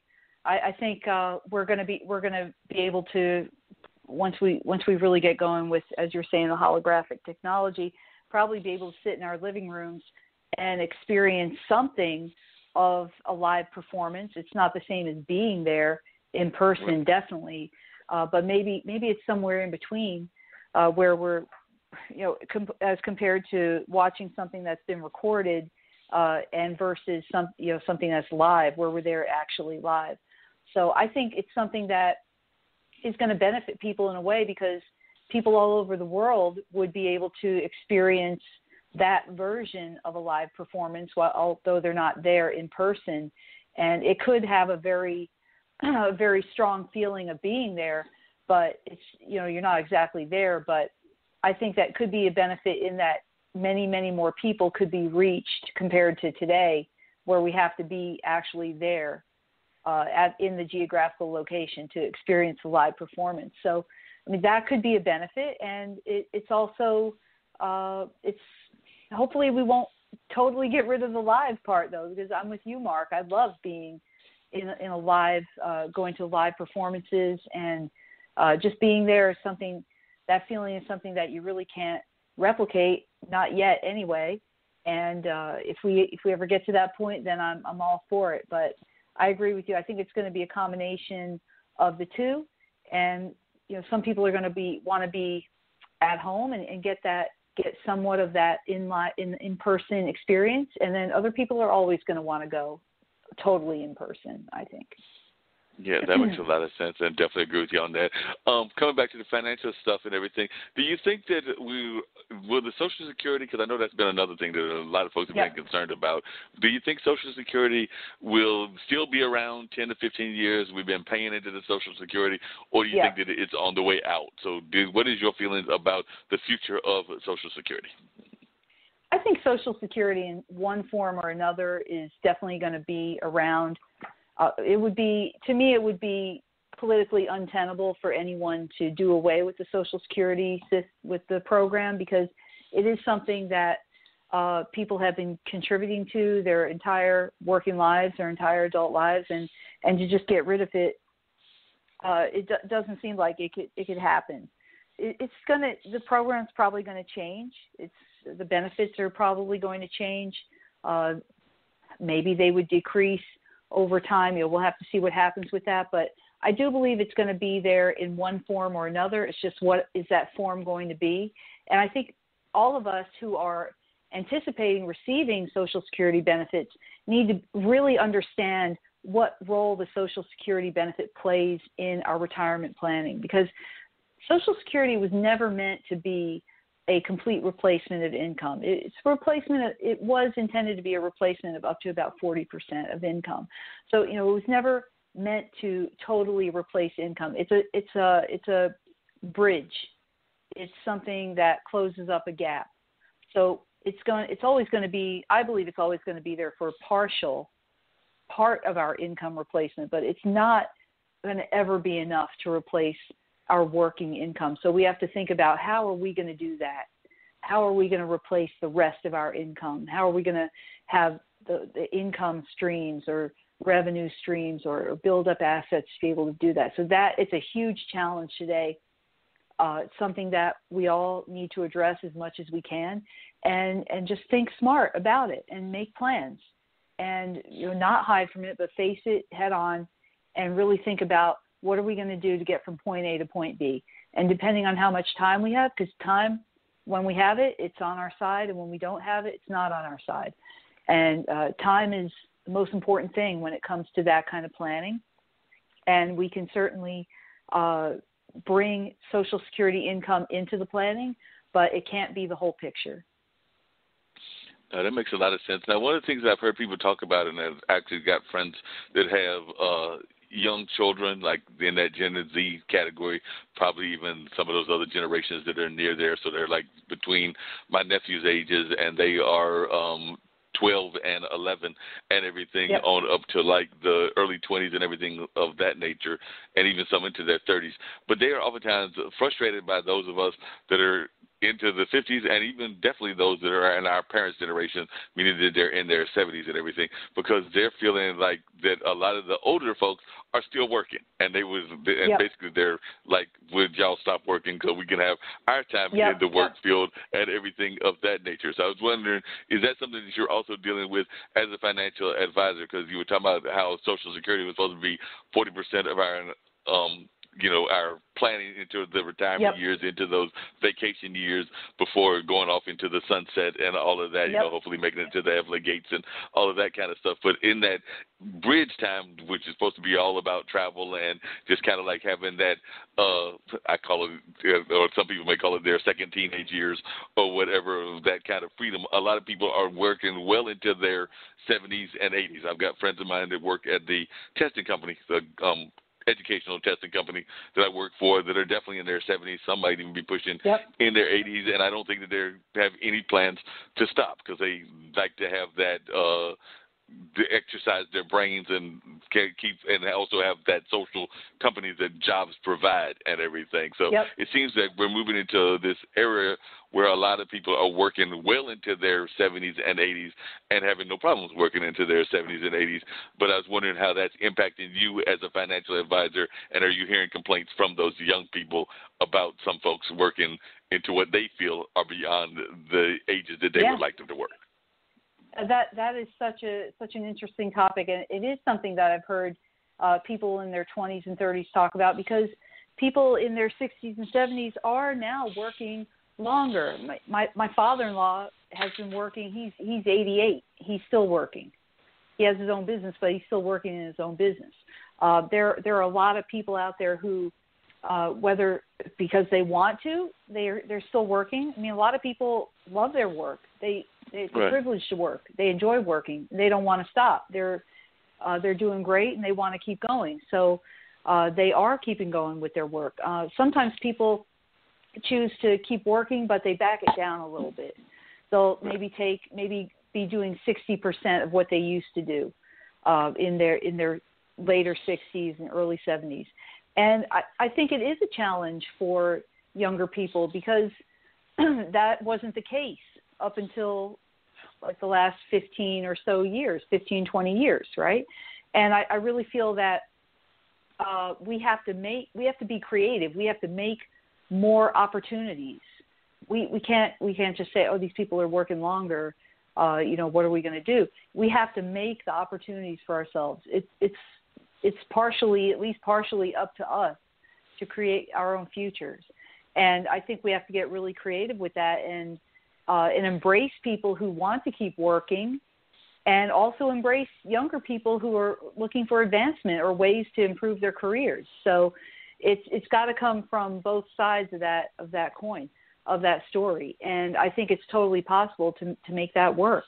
And people, you know, people are working for for different reasons, and if they if there's you know they want to keep working or they have to keep working, they should have the opportunity to keep working, because you know we're not uh, you know good work is something that we should we should applaud and appreciate and be able to appreciate their their uh, their experience and the, the level of depth that they bring to their work because they, they have been they have experience in the workforce uh, for so many years. So I think we can all uh, come together and come up with some with some great ideas and, and ways to move forward that, forward with that. And you know that's something that we've experienced in music as well, and uh, it's something that, that we can definitely work through. I mean, that's that's a that's a good problem to have. Like people who want to work, and we can make that we can make that better. Definitely. Yeah, I definitely agree with you on that. That we can definitely make it better. Now, the other thing that I oftentimes hear people talk about when they think about financial planning and financial life in general is the fact of you know we were talking about budgeting earlier and when you first called and everything and how the personal budgets people are oftentimes amazed at the personal budgets and what we have to do in order to budget tighten and everything. But then we hear the you know big government that always seems to come up with these big debts and these big things that they never seem to uh, hardly ever balance their budget. Yep. So how do you actually, when you're talking to your clients, how do you get them to uh, understand, for lack of a better term, this dichotomy that seems to go on? Because, like I said, I don't care whether it's state government. I would even argue in some cases your local government, whether that's in New Jersey, whether that's here in Durham, or whether that's in uh, California, or definitely on the national level. And then we're telling folks to, you know, tight, uh, tighten their belts and everything. Yep. Make sure that they're doing everything right and all of that. But there people that are above them in terms of the government don't ever seem to do that, and even some of the businesses that they, work for don't seem to do that as well. So I'm sure that comes up in your conversation with your clients. So how does it come up, and how do you give them to understand the dichotomy of what's going on? Because it seems to me that that oftentimes happens is that you know the bosses, whether that's your corporation that you're working for, or definitely our governments, don't always seem to do the same thing that they always tell us to do. Yeah, that that is a, a real that is a source of questions and uh, interest a lot with my clients, definitely. And it's it's hard to compare our personal finances with government finances because the, our personal finances are, are pretty simple. Even if we have a business and different things going on, investments, things like that, it's still fairly simple compared to what it takes to, to run a state or run the United States for that matter. And what what we're trying to accomplish in terms of our goals and take a year like this year with our short-term goals of of uh, relief from forced uh, uh, losing jobs and things like that, closing businesses, not being able to operate. that that is something where the government is uh, doing things that, that we can never that we will never have to do on the personal on a personal level. And we have to balance you know if we ever can balance our, our national budget and balance a state budget that's going to be over a long period of time and taking into account uh, so many variables like covid and and now our unemployment and and different things like that that that are just almost uncountable almost innumerable. And when we think about our personal finances, it's really about building wealth. Um, use if we need to use debt, use it to our advantage. Uh, there, all debt is not bad. There is good debt and there is bad debt, and just keeping a balance so that we have a budget we're living within, and we are able to save. We're able to grow our wealth. We're able to have different kinds of investments we have different we can take advantage of different opportunities.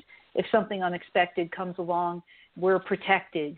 Uh, when we when we're talking about our personal finances you know versus the the macroeconomic situation with the with the United States government and state government we're just on a completely different level there in terms of complexity. And uh, you know at least we can uh, we have a good chance of, of balancing our own budgets and making that work and being able to reach our goals financially and, and also our other goals in life, which are all connected. And uh, that's that's pretty much what we focus on. But I agree with you. That's that's certainly a question that comes up. Yeah, I'm sure that was the question that came up.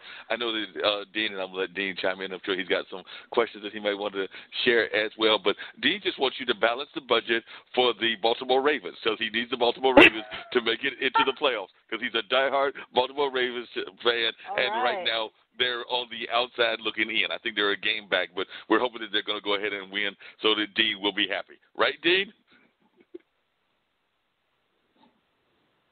We moved into the wild card spot, so we should be fine right now. We got So y'all look good right now. Yep, we're good right now. Two more right, so they're good right now. They're good right now, so that's a good thing. I know that a good friend of mine was worried about the Jets because he wanted them to tank for Trevor because he wanted them to lose all of their games. And what did they do? They went ahead and won a game. So they now he's now he's a little upset because he's like, wait a minute, we're supposed to be tanking so we can get Trevor and get that great player. So now he's trying to figure out if they're gonna lose that pick to Jacksonville and all of that. So that being said, just have a little sports talk there for a minute and everything. But Dean, what is your thoughts about all this financial and musical knowledge that you are garnering and all of that? You are a business person as well. You and your wife have businesses, so I'm sure that and she's up there. Jill is in New Jersey, so this is your opportunity to ask a financial question that has been crossing your mind all day long. I don't really have any financial questions. I just hope that they eliminate student loans, the debt that's owed on those, and that we don't have to file any taxes anymore. I, I'll be fine.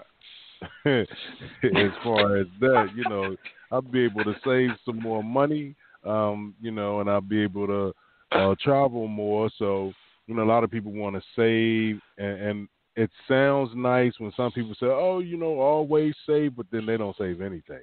Usually, they'll buy all kinds of stuff that have no significant value, or you know, they'll say, "Well," um, they say all of the right things, but then when you look, some people aren't. The words and the actions don't match up, and and a lot of times with our own government, the words and the actions don't match up. Because sometimes you want to say, hey, look, okay, so where is this money actually going? Who is it going to? And how is it going to be used? And they'll say, oh, well, you know, right now we're working on a stimulus plan. That's not what I asked you. You know, uh, we know the pandemic has shut down a lot of things. Also, with the ability of individuals to earn money in, in cases where businesses have folded, and unfortunately now they have no job. So what do they do? You know, and, and it's a tough situation to be in because if they never saved like they said they should have, you run into a problem. You know, and, and you run. I'll say you run into a problem faster than you would have had you put something away for emergent purposes. In this instance, this is very emergent because we don't know when it's leaving. Sure, there's a vaccine out now, but what's going to come down behind that? You know, uh, how are some of these businesses going to be able to bounce back or even recover from the damage that's been done through no fault of their own? So you know, it, it's it's kind of tricky, you know, and then different types of life insurance and you know they want you to get this policy but then they don't tell you certain things happen after you pass away where you figure all of that money is going to your family. So it's kind of really, you know, you got to really pay attention to what will better serve you. And for those who don't have a clue of where to start, that's where the financial planners come into play and, and to guide you and to, to put you in a position where you you will be all right. You know, so it's definitely a service that's needed, and a definitely a service that that is very helpful because people claim to know about money, but then people don't know about money. If you understand that statement, you know, so yep. they they'll they'll tell you about oh yeah I do this and I do this, and then next thing you know, later on you hear him talking about something like, nah, I don't know what I'm gonna do. Well, dang, you just talked to me about an hour about all these other things that makes logical sense. But it's often easier for a person to give advice than for them to follow it themselves too. So, you know, when you look at that, all right, make sure you put yourself in a position so that, you know, you're not looking at your family like, I don't know what we're going to do or I give up or any you know, anything like that. So you gotta just be kinda careful. No, I definitely agree with you on that. And actually, you brought up something interesting, Dean, and I, we alluded to it earlier. But um, what are you hearing, Jill, about student uh, loan forgiveness and all that? And is that going to come down the pike, like hopefully with us getting rid of taxes? Because I do agree that that's something that we should have done a long time ago. And there's a number of folks that unfortunately are stuck in debt well after they've graduated from school because yep. of student loans and all of that because a lot of times they do these kind of reconstructions of the amount and sometimes those fade out and in a favor. So i know that i still have some money that i still owe and i graduated some 30 plus years ago. So, and uh, well, actually, come to think of it, 84, yeah, 30 plus years ago, almost 40. And there's still some money out there that I still owe and everything. And I'm not alone in that category. There's some other folks that graduated many moons ago as well. So, what are you hearing about those possibilities? Well, it's something that, as you both know, is being discussed a lot. And I, I think, in terms of whatever happens with the decision from the federal government, it's very important for people to leave their student loans as student loans. Do not change them into something else by either refinancing them into something connected to a home, home mortgage, something like that, or a personal loan. I've heard of people uh, refinancing into a personal loan. So we want to keep them as student loans, and so that if something does happen in terms of the the relief for student loans, then they're they're going to be able to help with that. If we change it into something else, then we're done. Uh, it's it's this new kind of loan forever. So I, I say that would be the most important thing to do, and um, hopefully down the road, I mean, if we can have some relief with that and have some changes in that system, I think it would be really beneficial to our entire country because so many people around the country are suffering with their student loans. They're paying as much for their student loans as they are for their home mortgage, for their home mortgage, or for their rent uh, on a monthly basis, which which is just shouldn't be that way. So you know, if anyone if anyone is in that situation, uh, they should reach out to people who can potentially help them. There are some great people out there helping people uh, in the better situations with their student loans. I also still have a student loan left, still working on that and uh, we just want to we just want to get that down to a manageable amount on a monthly basis, and hopefully something good will happen on the federal level. And we'll have to see what happens with that. No, that makes a lot of sense. And one of the other things that uh, we kind of alluded to when I gave that little sports uh, break and everything was I'm oftentimes amazed by the fact that too often our we talked about the entertainers, but also too often our athletes uh, don't necessarily have like a plan of their financial future, even though Yep. they get these big time contracts and all of that kind of stuff. But they don't necessarily have a business plan, and they also don't Yep. necessarily have a financial plan. So I was wondering, in your own career, if you've ever had to deal with any of these entertainers, and if so, Yep. what kind of advice do you give them? Because I oftentimes am amazed at the ones that might go to work for like the Jets or the uh yeah, the Yankees in baseball or some of these other things and have million, if not billion dollar contracts, or maybe not billion, but definitely million dollar contracts and they're sitting there and you know, they're letting their parents, their cousins and everybody else tell them what to buy, what business to go into without Yep. having any sort of plan involved in that. So I was just wondering your thoughts on that and whether you've actually had to deal with those athletic types that may not have that financial backing and the financial plans in place. I have, I have had, I do have uh, clients who are athletes and in entertainment at a very high level, and it's really important for them, as you were saying, Mark, to have professional guidance. It's uh, of course we need our families around us. That our families are definitely our support system, and they should be involved if if that's what the what the performer and the entertainer wants, the athlete wants. They should be involved in uh, helping with decisions. But we we definitely need professionals to come in who can develop a business plan, who can develop a, uh personal and and a personal plan and have the two aligned. Uh, I think it's really important in that situation, especially if if the length of the career is uncertain, to to do as much as possible to uh, build strength and, and grow their wealth quickly, and to to do that with the same principles that uh, I talk about all my clients with in terms of their finances. It's not what we make, it's what we keep. How can we keep more? How can we make our futures better by keeping more today? And if we're in a situation where we're thinking we might have a, a 10 year career or maybe a 15 year career, I mean, maybe we could have a much longer career than that, but it's, it's not set in stone. And I think it's smart to, to focus on building wealth quickly. And uh, again, no matter what we make, everybody needs a budget. Stick to that budget. Make sure that savings is built into the budget. Make it real, make it a habit, and focus on that and proceed in that direction. Yeah, that makes a lot of sense, and I definitely can uh, relate to that. I've actually got, um, I've known for years, uh, more as an acquaintance than as a true friend.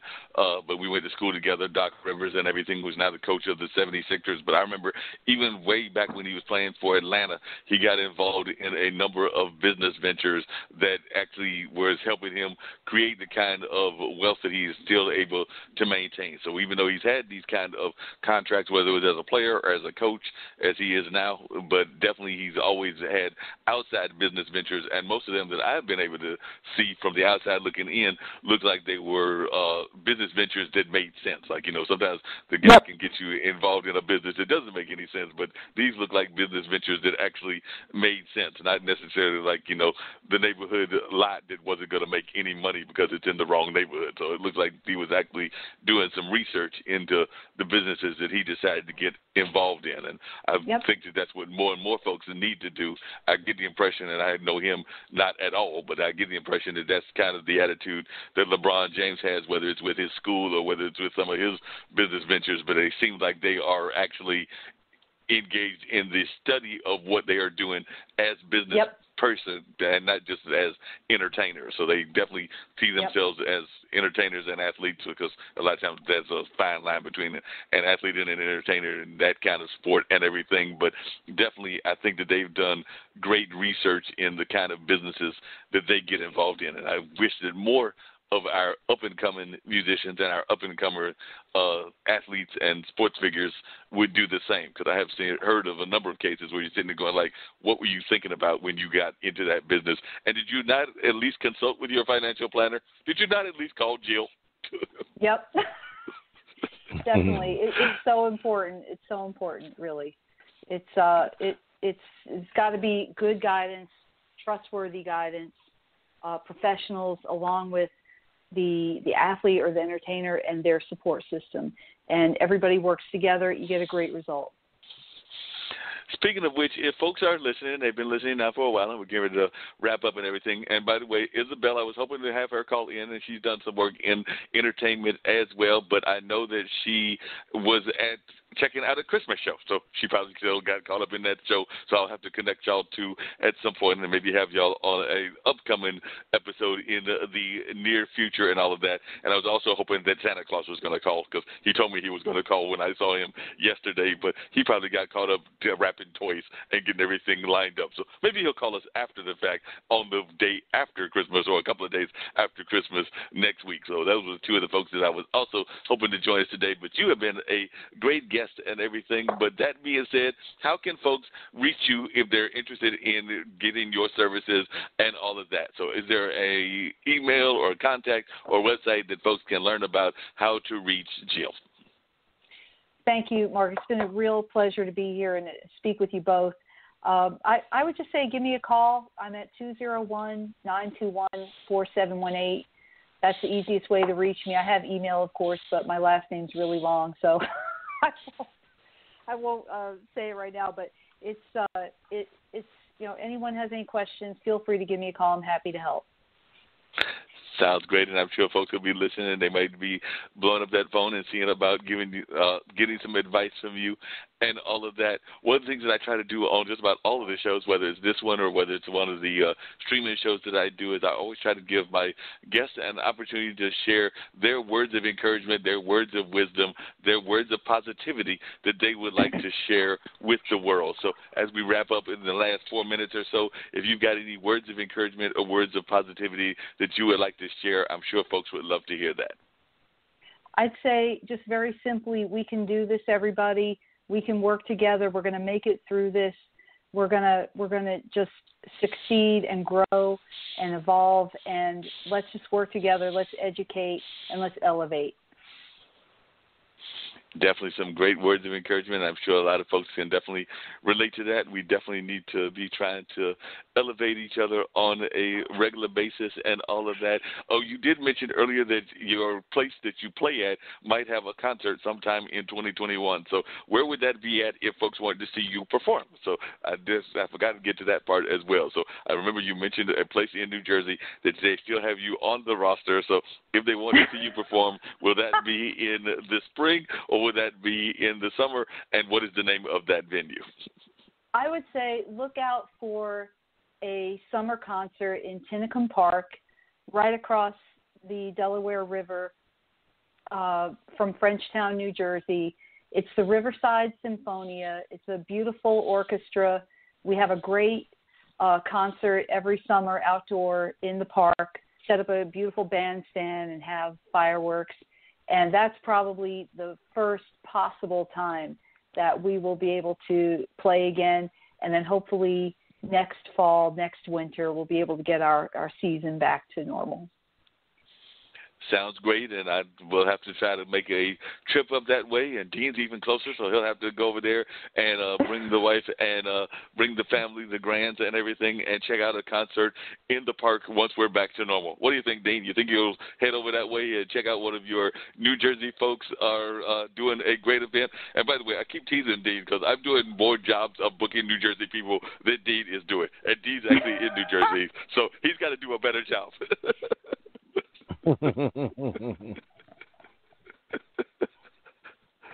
But what do you think, Dean? You gonna go check out the concert and everything along those lines? Because definitely it sounds like it could be an amazing concert, and hopefully everything will be back to normal in the uh, springtime or definitely in the summertime. So if everything is done and we're back into some semblance of normality, you think you'll grab the family and go hear some good old fashioned classical music? But we'll see what happens. We'll Come on, Dean. Let me know. Let me know. I'll meet up with you. We'll we'll have have some uh, lemonade and uh, have some some great uh, outdoor activities and uh, have a good concert. That'll work. Sounds like it could be a great concert, so we're just gonna have to have that encouragement going on and all of that. So as I said, we got about a minute to go, and we're getting ready to wrap everything up. Dean, you want to tell folks where they can hear this replay at, and where they can also um, get uh, our other shows and some of the other shows that we've got on this tremendous network that we have put together here on Blog Talk Radio. So you want to share with folks a little bit about that? Yeah, sure. Why not? You know what I mean? We we can get all of that. Uh-oh. I hear I hear something in the background. I don't know if that's on my end or on another end, but we we thank you first of all for for joining us tonight, um, giving us some good information and helping us along the way. Any help that we get is, is greatly appreciated. And hopefully, our listeners have been taking some kind of notes as well, so that they can, if they do need to reach out to you, they give you a call and, and get some advice to to get them onto the uh, right track that they are that they need to be on. I should say. So, thank you. It's a pleasure to be here. Yes, and, and and thank you for taking that time, you know, to tell us a little bit about yourself and, and all of the things that you do. It's greatly appreciated, as Mark has said, and and I'll say it again, you know. But thank you. Okay. My pleasure. So, all right, ladies and gentlemen, this Straight Talk with Dean and Mark, Monday night, 7 p.m. Eastern Standard Time. Make sure you catch the replays tomorrow and Wednesday afternoon at 2 p.m. on the Skyhawk Radio Network. And if you missed that, then we do have replays, and we have a whole bunch of them. And it's um, trying to find that list because my brain just got a, a complete wipe, but it's on, on Radio Public, iHeartRadio, Google Podcast, Spotify, Spreaker, TuneIn, Stitcher, Podbean, Apple Podcast, Podchaser, Podcast Addict, Castbox, Podfollow, Deezer, JioSaavn, and right here on Blog Talk Radio, we are part of the Level Podcast Network, where you can find also the shows The Black Girl's Guide to Surviving Menopause, the Chef Gang Radio Show, Funk from the Front Seat, Funk Music with Zach, Learning Unwrapped, Let's K12 Better, Marketing with Russ, hashtag Russ Selfie, Mona Shakes and the Minority Reports, Mullings Music and Memories with Marc Lee, the Online Dinner Party with Marc Lee, Reinvention Road Trip, She's on Call, the Just Podcast, the Marc Lee Show, the Spin It Social Hour, Virginia Interfaith Live, and WNC Original Music. Last but not least, us right here Straight Talk with Dean and Marc. Like I always say, when you walk outside your front door, it's showtime in the world of your stage. Just make sure that people are not watching the rehearsal. With that being said, it's Six Man Dean Geronimo. Have an outstanding week. We see y'all for the last time in 2020 in seven days. And hopefully 2021 will be a much better year than 2020 was because 2020 was rocky. We know that 2021 will at least start off rocky, but hopefully it will continue to improve and be a better year than 2020 was because 2020 was a wild one. That's all I got to say. It was definitely a wild one, and we need to have some improvement in 2021 and beyond. So we're going to have some new things coming into place in 2021, like a new administration and some new changes on a lot of different levels. But one thing that will stay consistent, where we will continue to bring you some great guests. Still lining up the guests for that last show on the 28th, but I will have some more amazing folks. And who knows, maybe Jill will call back in again and have some great comments as well. But we'll definitely have some other guests as well. But definitely it should be an amazing show as we wrap up the year on 1228 and get ready to slide on in into 1221. So 2021 is coming our way. 2021 is going to be coming up in, what is that? 11 days from 11, now? No, yeah, 11 10 days, days, bro. The day's the 21st. So 10 more That's days. Right, 10 days from now. That's right. And it's over. 10 days left to 2020 and 11 days to 2021. Exactly. That's it. So y'all keep it All tight, right. keep it right. We see y'all next week. Sounds great. We will catch you later.